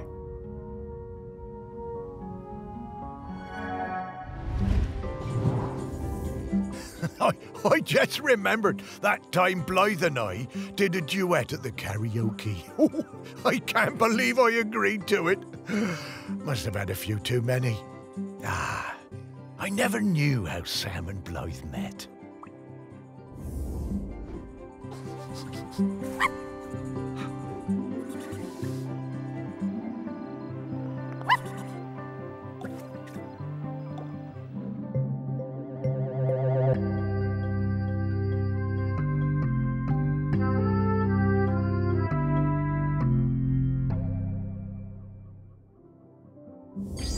Oh, I used to love finding these on the beach.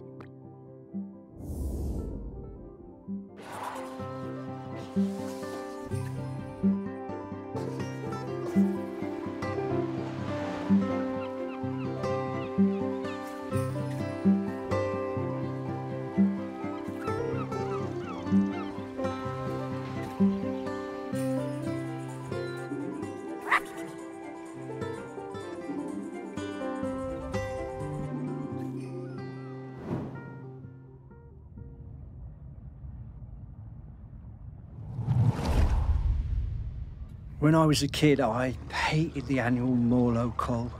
I was kept away and found excuses not to be there. Then, age 10, my dad marched me down to the beach with other men and put a knife in my hand. It was the worst day of my life. I saw Morlo slit from jaw to belly, more blood than you could imagine. I didn't sleep for months after. But you grow up, don't you? I never felt it right that we was killing Morlows, but what could I do about it? I was just a fisherman. One day I see Samfire, the new harbour officer, handing out leaflets on the quayside. Stop that, Col. I went along to that first meeting at the campsite. Greg Litherland was one of the other organisers. It was beautiful. So much hope around that campfire. When I spoke about the pain of the Morlow, oh, it really felt like the young uns were listening. Me, Sam, and Greg held regular events to raise funds for badges and patches. I was proud to wear mine on me best Gansey.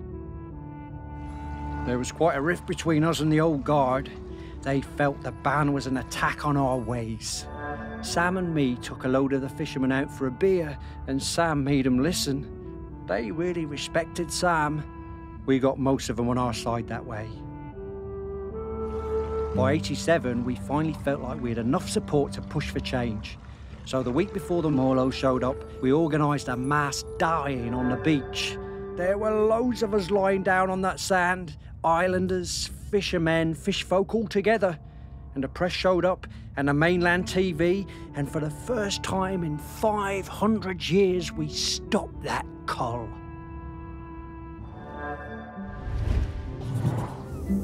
I'm so glad we don't do that cull anymore. I was proud of Sam and that lot when they finally made the old uns see sense. And, well, I did my part. Held a lot of those early meetings at the museum, we did.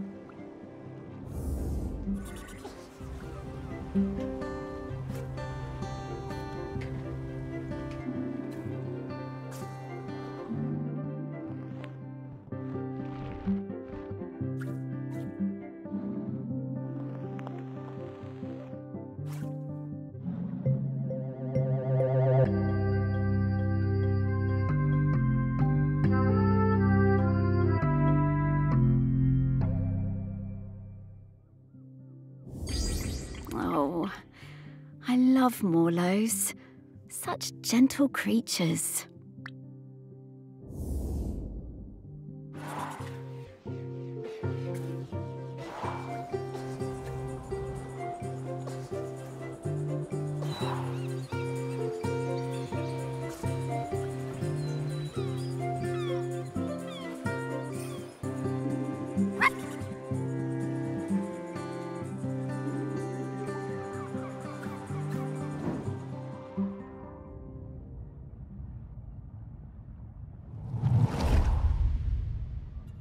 Time Sam started as the harbour controller in 79, the fishing industry in Shelmerston was on its arse. No way to compete with those factory trawlers from the mainland, was there? Couldn't moor those things anywhere near the island, even if we had them. Of course, we were all smuggling, stands to reason, done it? There was no money. All those old fishing sheds on the quay, the ones the tourists like, were falling down. Old place looked, pardon me, like a tip. There was a lot of trouble at first. Sam trying to stick by the rules and catch us out any way they could, and us trying any which way to give her the runabout. Wasn't easy, mind you. She was smart, that Sam. You never knew when they were going to pop her head out of the water beside your tub. And to be fair to Sam, some of them smuggling boys were bad uns. Worse stuff than booze on some of them boats, and that's the truth. Probably no bad thing Sam put a stop to it. But in time, Sam started to see how things were, how we do things, and we came to an understanding of sorts. If Sam turned a blind eye to a bit of the decent stuff, the harmless stuff, then we'd report the worst of it. I mean, we all want to keep the seas safe, stands to reason. Plus, Sam was partial to a bottle or two of the sheep shank on occasion. Oh, yeah. Sam was sharp as a gutting knife. They made us hand over some of the, uh, shall we say, dividends to fix up the quay. All them sheds and that. Make them into something we can be proud of. Turn things around for Shelmerston, that did. Now we get more of those tourists since the big ferry started, and they love a day out on a boat. Ken takes them all out, he does. At the same time, Sam organised a kind of work sharing thing with the fish folk. Got some of them to swim along with the fishing boats, help them locate the biggest shoals. Gave those big trawlers with all their fancy radar gear a run for their money. we'll never be big players in the fishing down here. But thanks to Sam, we hold our own. Bless 'em.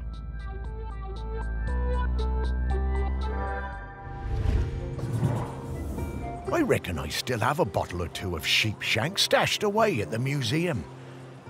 Don't suppose anyone will ever drink them now.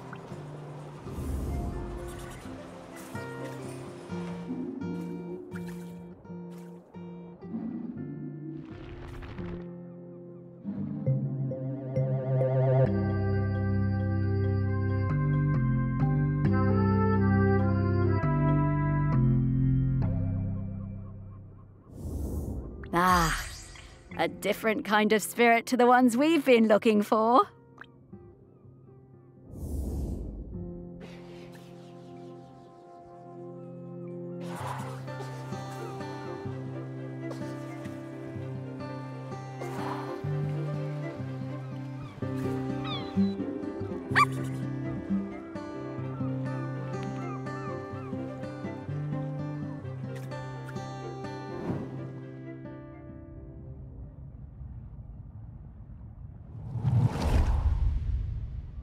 I swim with a pod south of the Fire Isles. I believe the dry siders call the larger one Shelmerston.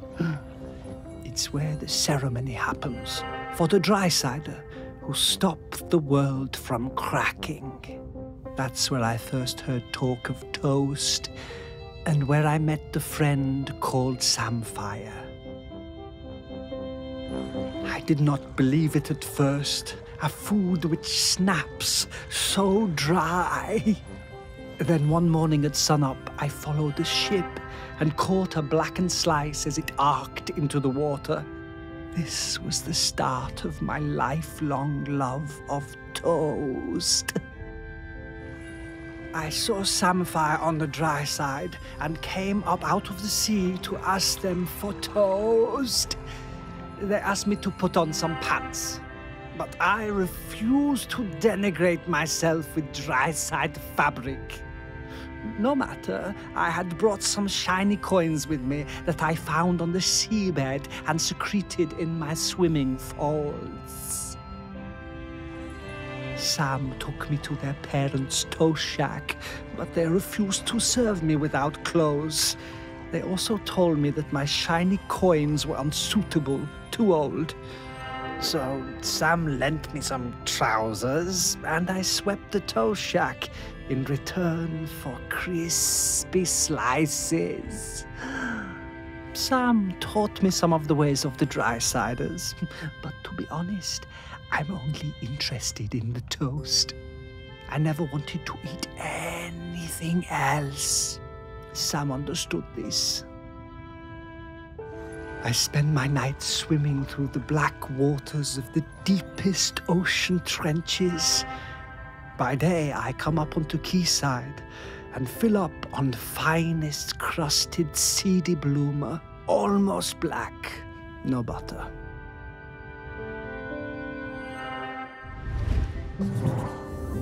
Oh, I could really go for a nice piece of toast right now. But, uh, yeah, with butter.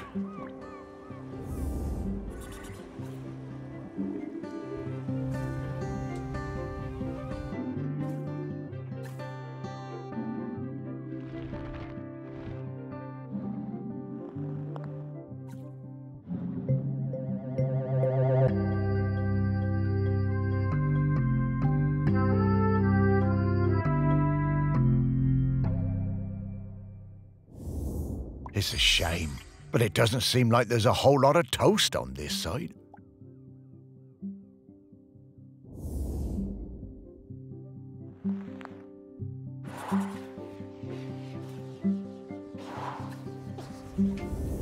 Oof. Sam. This is an easy scent profile. I'm coming, Sam.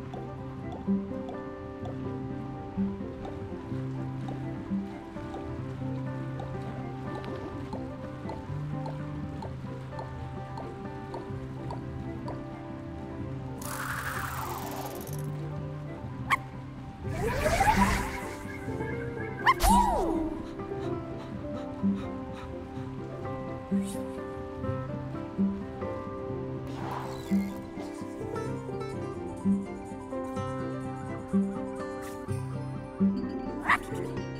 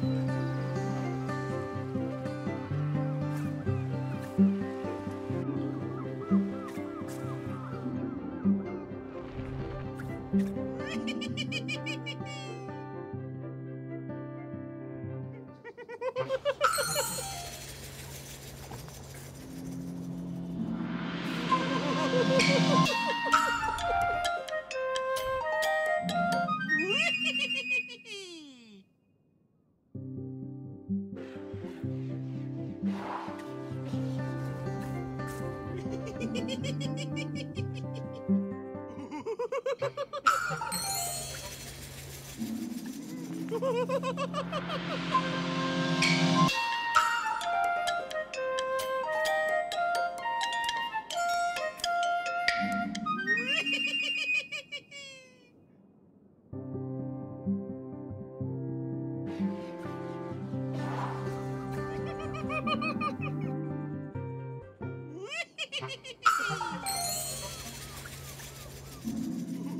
Ha ha ha ha ha!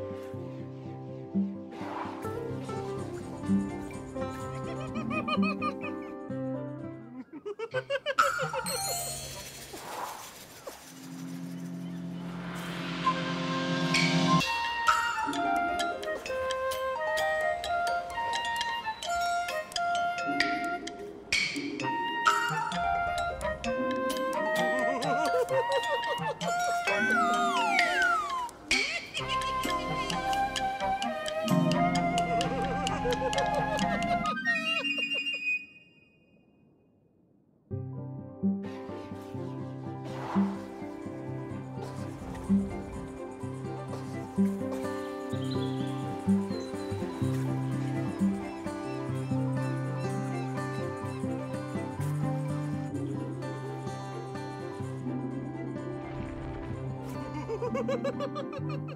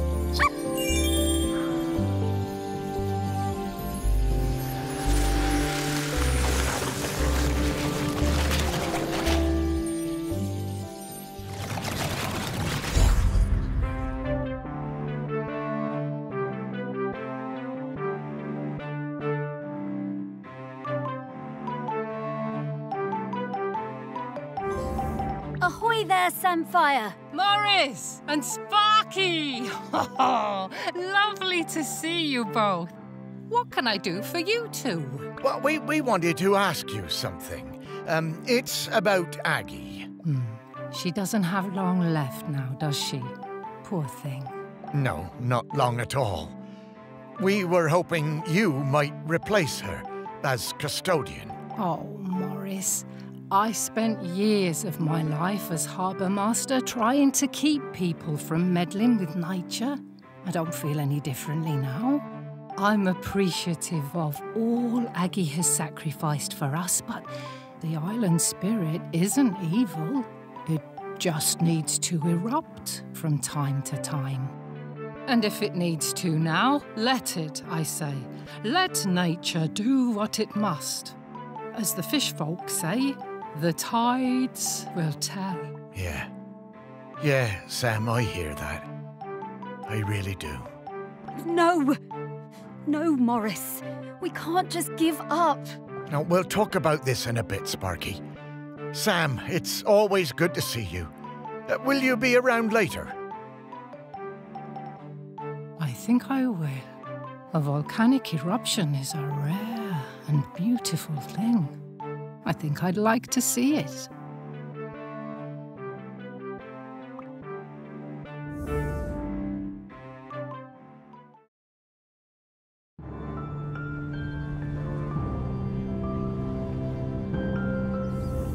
Okay, we just need to talk to Aggi. She'll know what to do. No, Sparky.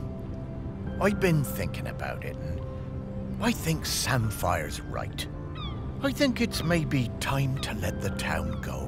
No, Morris. It's not. No, it's all right, Sparky girl. It's over.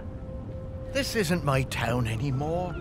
The only ones around here who remember me are ghosts. That's not true.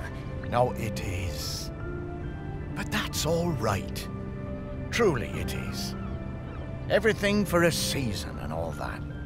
And I miss the people I knew. The people who've moved on. I want to see them again. I think I will take Pete Nochop on his offer and head into the west with him. Shelmerston doesn't need Morris Lupton any longer. Morris Lupton, you will not give up. You have been granted a precious responsibility and you will honor it. Sparky? I'm sorry about that. Remember when I told you I was mostly Sparky? I am, but mostly. Then what else are you? I am the rock that you stand on. The wood you people built this town from. The magma bubbling beneath your feet. I am Shelmerston. And right now I want to erupt. But I have also made connections to the things that live here. Connections I want to keep alive. I need you, Morris. Right. Well, uh... And I'm still your Sparky. And I need you, Morris. We all do. Oh, Sparky. I know you feel forgotten. I know you want to move on. I do too, but but I can't until I wrap up this last bit of unfinished business. Will you? Will you try one last avenue with me? If we still can't find a solution, then. then I'll be done. It'll all be done. And we can go into the West together. Please. All right, Sparky. One last try. But who else is there to talk to? Aggi. Aggi? But where is she? I mean, she's everywhere, isn't she? She is. But I can sniff her out. I just need some mementos. But where would we find mementos from back then? Oh, of course. Back to your museum, Morris.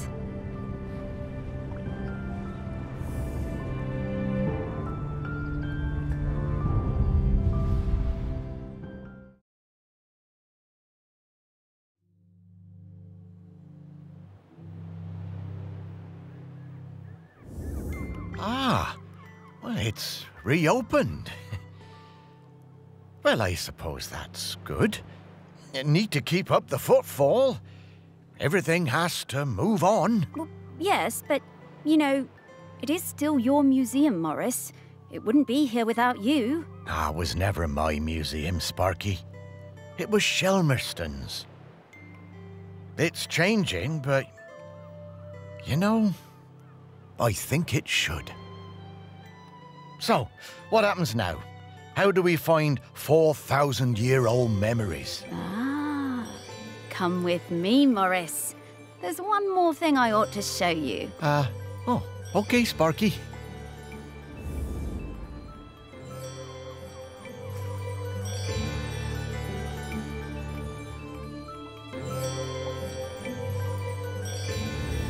Well, Don't suppose I'll ever look at Aggi's room the same way again, will I? Morris, take a look at those skulls, please. The skulls?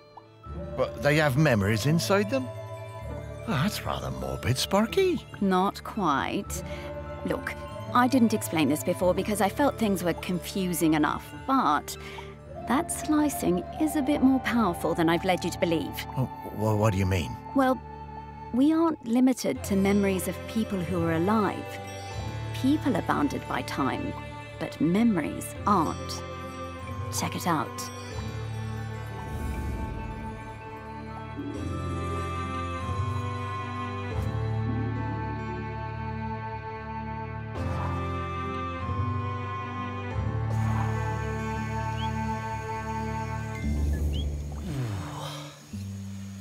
Oh, I didn't think dead stomachs could get queasy, but here we are. Where are we, Sparky? When are we, Morris? This is Shelmerston in Aggi's time. You should be able to find some memories of her here. You are some dog, Sparky.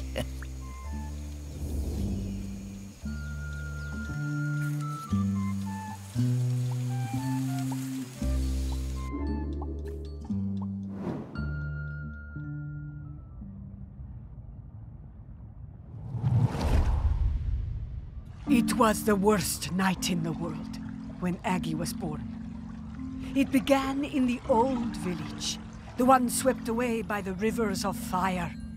The ground shook and the earth split open and spat sparks. The sun hid and the huts burst into flame as we fled. I thought we would all die, everyone washed in the burning orange death and Aggi's mother howling with the pain of the child coming.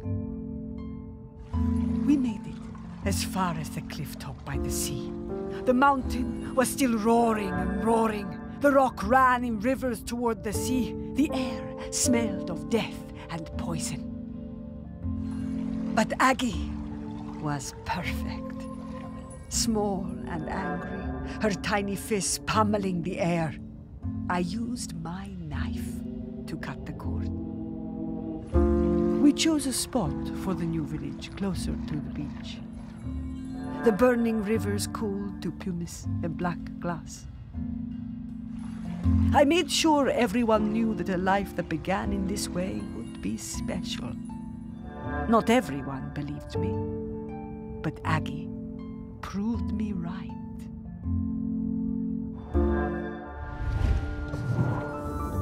My goodness. Giving birth like that must have been awful. What a terrifying situation. Hmm. So, where do you think that knife is? Should we look around here or. No, I- I'm pretty sure I've seen that knife before. Back at the museum, I reckon. Okay, Morris, let's go.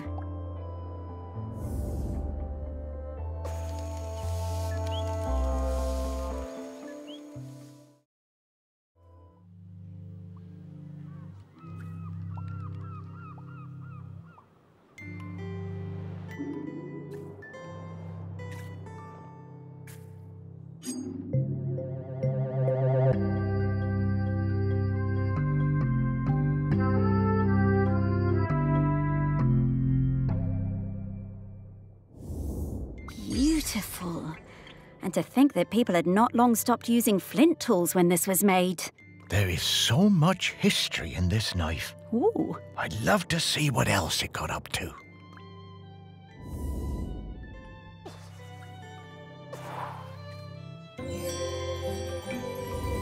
I'm getting the scent of Grenkins again, Morris. I'll pop up to let you know when we're close to one.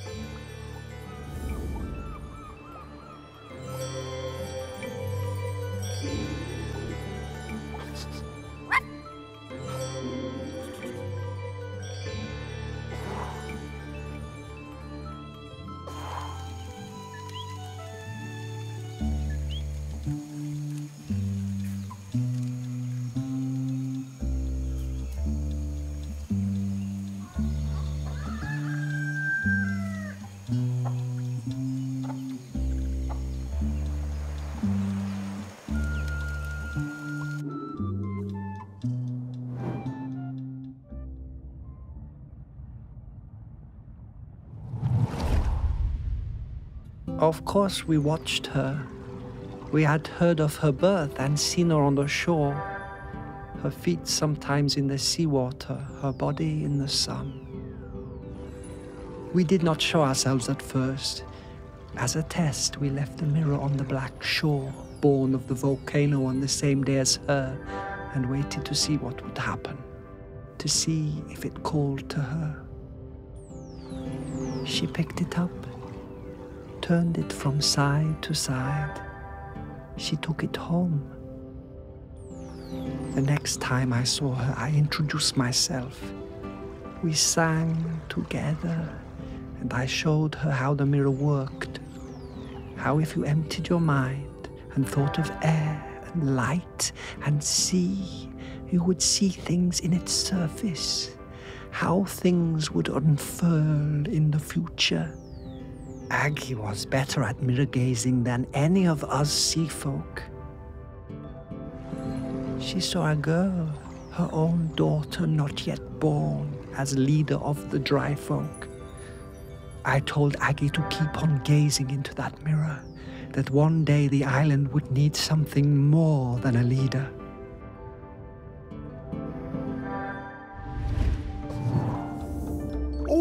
I had a box of rocks that looked like that mirror somewhere. Where did I put it?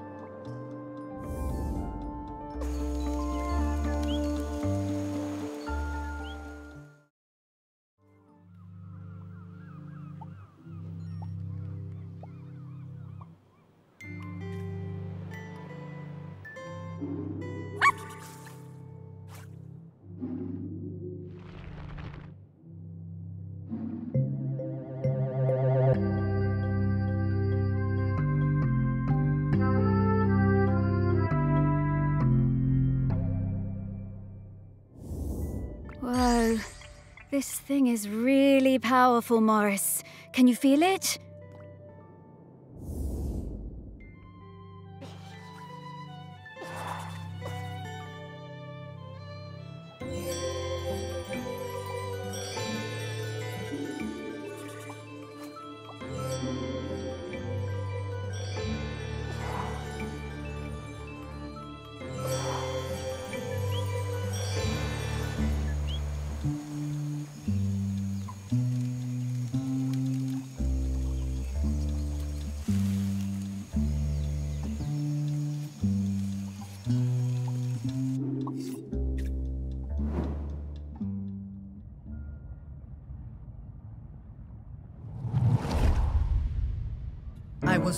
Always fearless. My mother Aggi told me there was nothing I couldn't do. With Otsul and without, I hunted the deer in the woods and the hares on the mountain, all before I had taken my first lover. And younger still, one time Aggi had me knock her tooth out when she was in terrible pain. I didn't mind even when the blood poured out. It was easy for me. Spears and knives were my nature. Death and courage were my meat and drink. I knew about Aggi's mirror, of course, but did not believe all of it.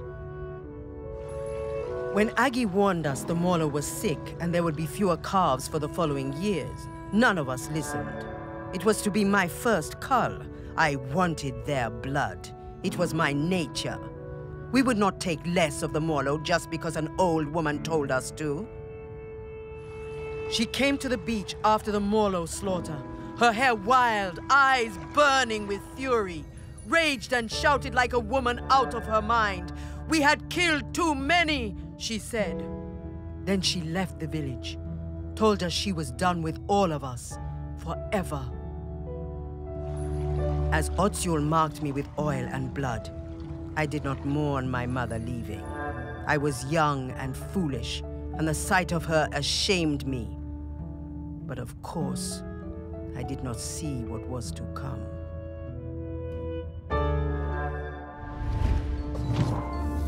To think that they were still having the same arguments about the Morlow way back in the Bronze Age. Aggi must have sensed the trouble ahead. Maybe she was trying to find a way to prevent it.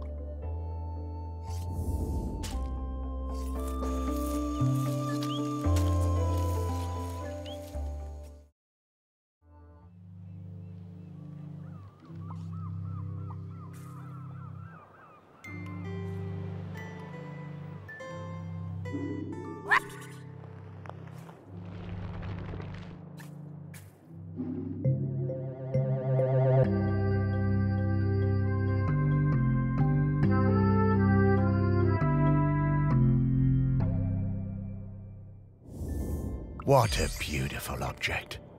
Delighted to have it in our museum.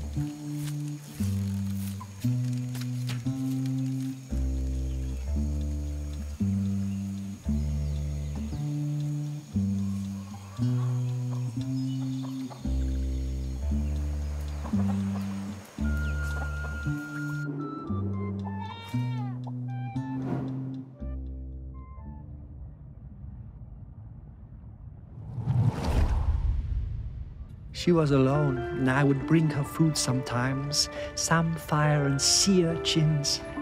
She would make dry food, and we would eat it together. Textures unlike any we knew that broke apart in your hands and in your mouth. We would sing together, make tea together. We became her family. The dry folk left her alone. She had a companion for a few seasons, a hind who came down from the mountain and slept at her fire. And then, for a few more, a golden hare that ate from her hand. One night we all felt it. Those of us in the water and those above. The island waking, rumbling, alive again, more furious than before. I found Aggi awake, tending her fire, unsleeping, unresting, staring into her mirror. She told me she'd seen the island sinking into orange fire and boiling sea, lost forever above and below. The village and our town in the sea caves, all gone. Aggi went to the shore and blew the sinistral shell, calling our people up from the water. Aggi sang for them the oldest song, and we spoke for some time. That night, the sea and sky was all the same color, a deep grey blue like a mackerel's back without the glitter. As the dawn approached, Aggi left the beach to return to her people, to tell them what must be done.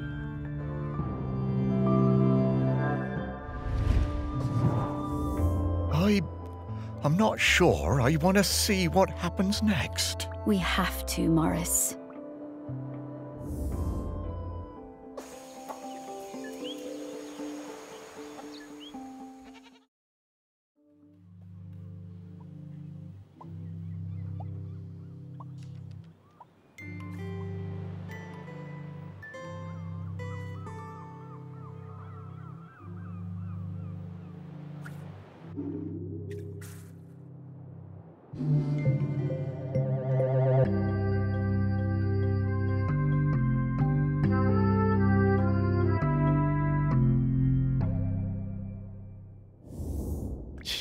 Such a small thing.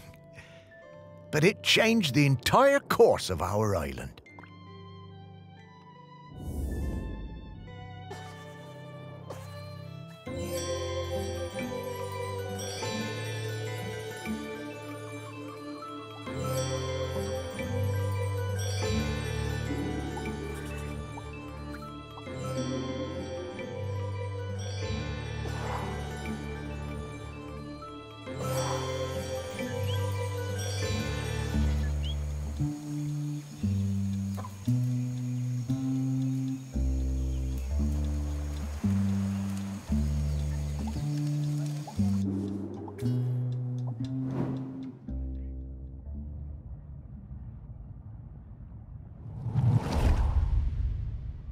Heard the shell and knew Aggi had returned. Ibni was the leader then.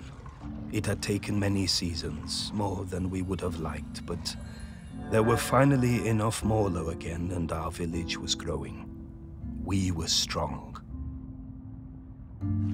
Some of the younger ones didn't know Aggi and didn't want to hear her, called her a moon-shotten crone, but Ibni looked in her mother's face and saw the truth of it. The end would come. The earth was growling again. There would be hot rivers of death and clouds of poison. But Aggi brought us the answer. She would give herself to the island. Ibni's voice shook. Surely a deer or a goat would be enough. The year's finest, blackest calf. Aggi cast down her eyes and shook her head. We all knew. I offered my blade, but Aggi turned me away. She took her knife that had cut her own cord the night the volcano last erupted and wrapped Ibni's fingers tight around the bone hilt. It must be you, Ibni, she said, and it must be now before the sun comes up. This day, this morning, or we are all gone. The village, the people, the island. Aggi embraced her daughter. Ibni whispered something, but I could not catch the words. Both women's faces shone with tears. Aggi sat on the ceremonial stone, the tears streaming now from all of us. Aggi delivered her final message. She told us her body must not be burned or given to the sea, but lain in the earth of the island beneath the mountain. Ibni was shaking, and then I realized it was not just Ibni. The whole island was trembling under our feet, waking up. Aggi told Ibni to be quick, the end was coming. As Aggi took Ibni's hand and guided the knife to her side, we saw the fish folk rising from the sea, hundreds of them, so many. I had no idea there were so many. Aggi was quiet the whole time, but Ibni cried out. A sound of longing and hurting from her heart like I had never heard. Then she fell silent, and as Aggi's life poured from her body, the island and everything on it fell suddenly still. Utterly still. We wept then, in sorrow and relief. Then the fish folk were among us, countless, numberless. One embraced Ibni, holding her up as it seemed her own legs might give way. When the sun came up that day, land and sea folk stood together for the first time, talking and singing the old songs, Aggi's songs, together. Ibni and the fish folk took Aggi up onto the mountain. They laid her in the peat alongside the knife and all the things she would need on her journey. Ibni watched over Aggi for days afterwards. Before she was covered, she placed a sacred carved stone, Aggi's beloved hare, inside her mother's mouth to guide her and help her keep the mountain still forever. And so it was. Oh, Aggi. Now that's bravery. Hey,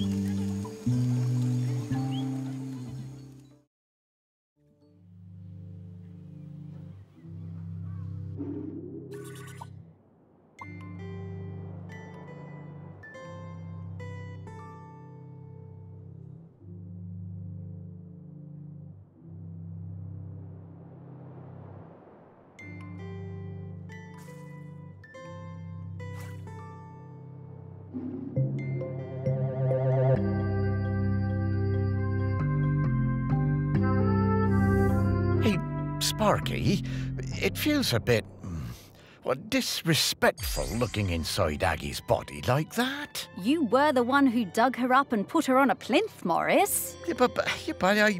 But I. Relax, Morris. This body isn't Aggi anymore. She's long past needing this old thing. Hmm, well, all right then.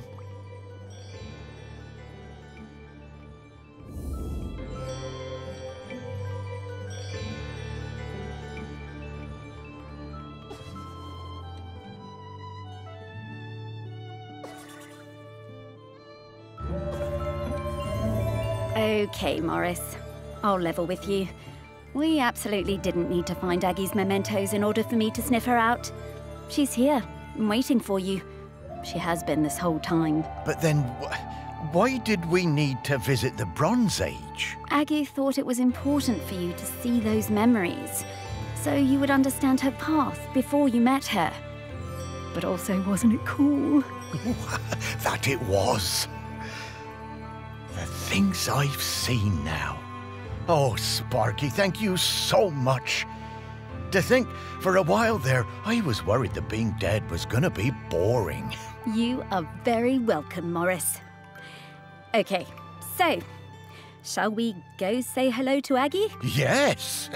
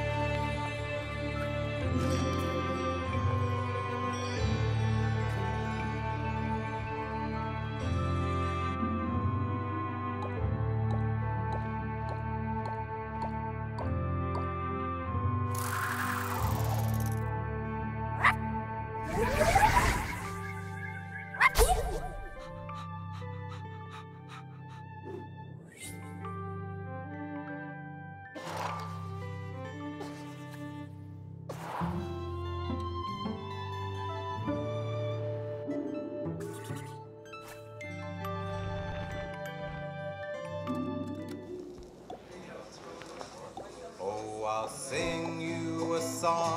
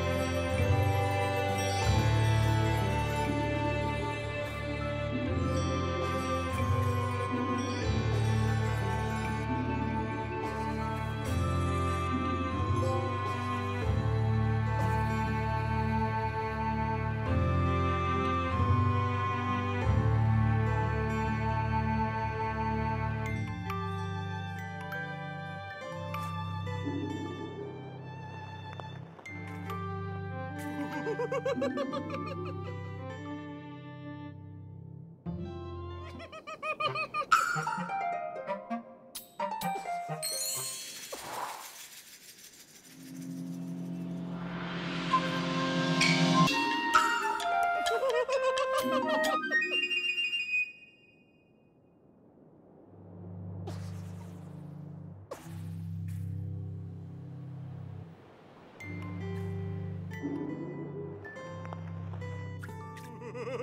Ha ha ha ha ha ha ha!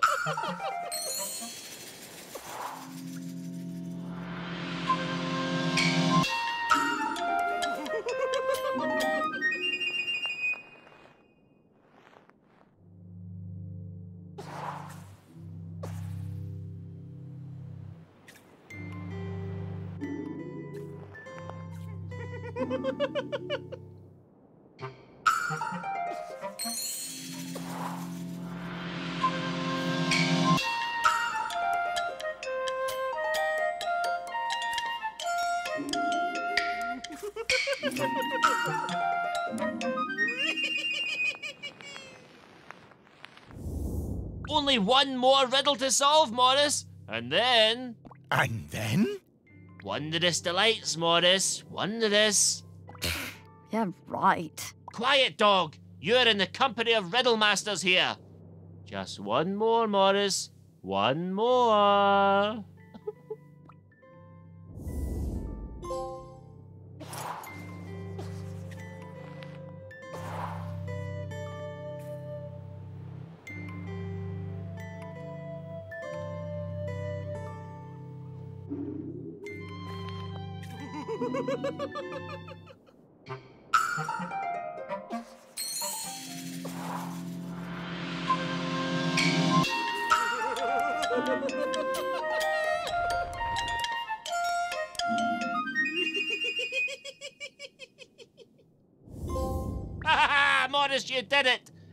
Incredible work, my boy. Superlative effort. Oh, I well, well, thanks. Oh, thanks, Mr. Whitstable. And now for your reward. Oh, boy.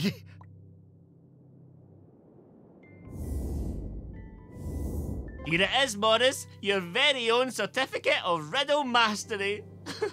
Wow, oh, thanks, Mr. Whitstable. I, oh, I don't know what to say. I'm so proud of you, Morris. And listen, whenever you want to look at this certificate again, to bask in your own brilliance, you only have to press pause and you can look at it again. And now, A song. I walk when I play and I play when I walk. I can run but don't walk. I have a mouth but don't talk. I grow in the winter. I die in the spring. I have eyes but don't weep. I have a song but don't sing.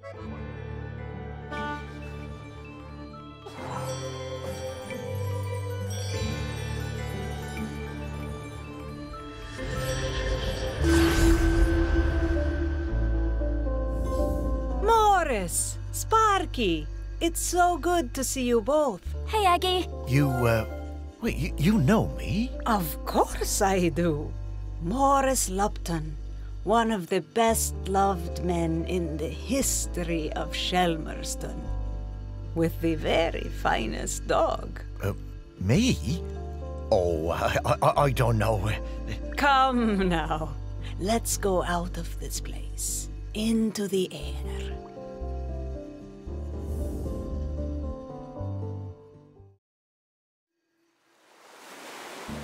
The one part of Shelmerston that looks just the same as the first day I saw it.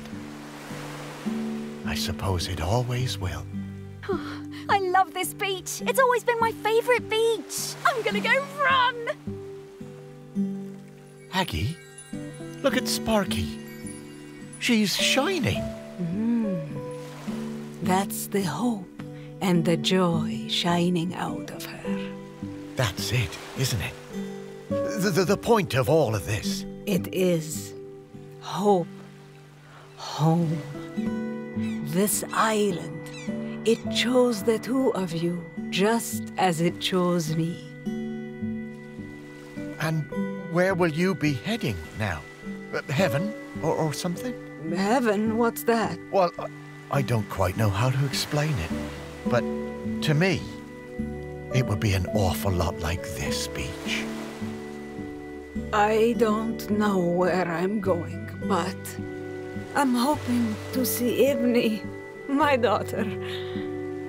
It's been a very long time, but I remember her. We never forget the ones we love, do we, Morris? No, I don't suppose we do. I think she wants something, Morris. Huh. Would you look at that? I just found a tennis ball in my pocket. Here you are, girl.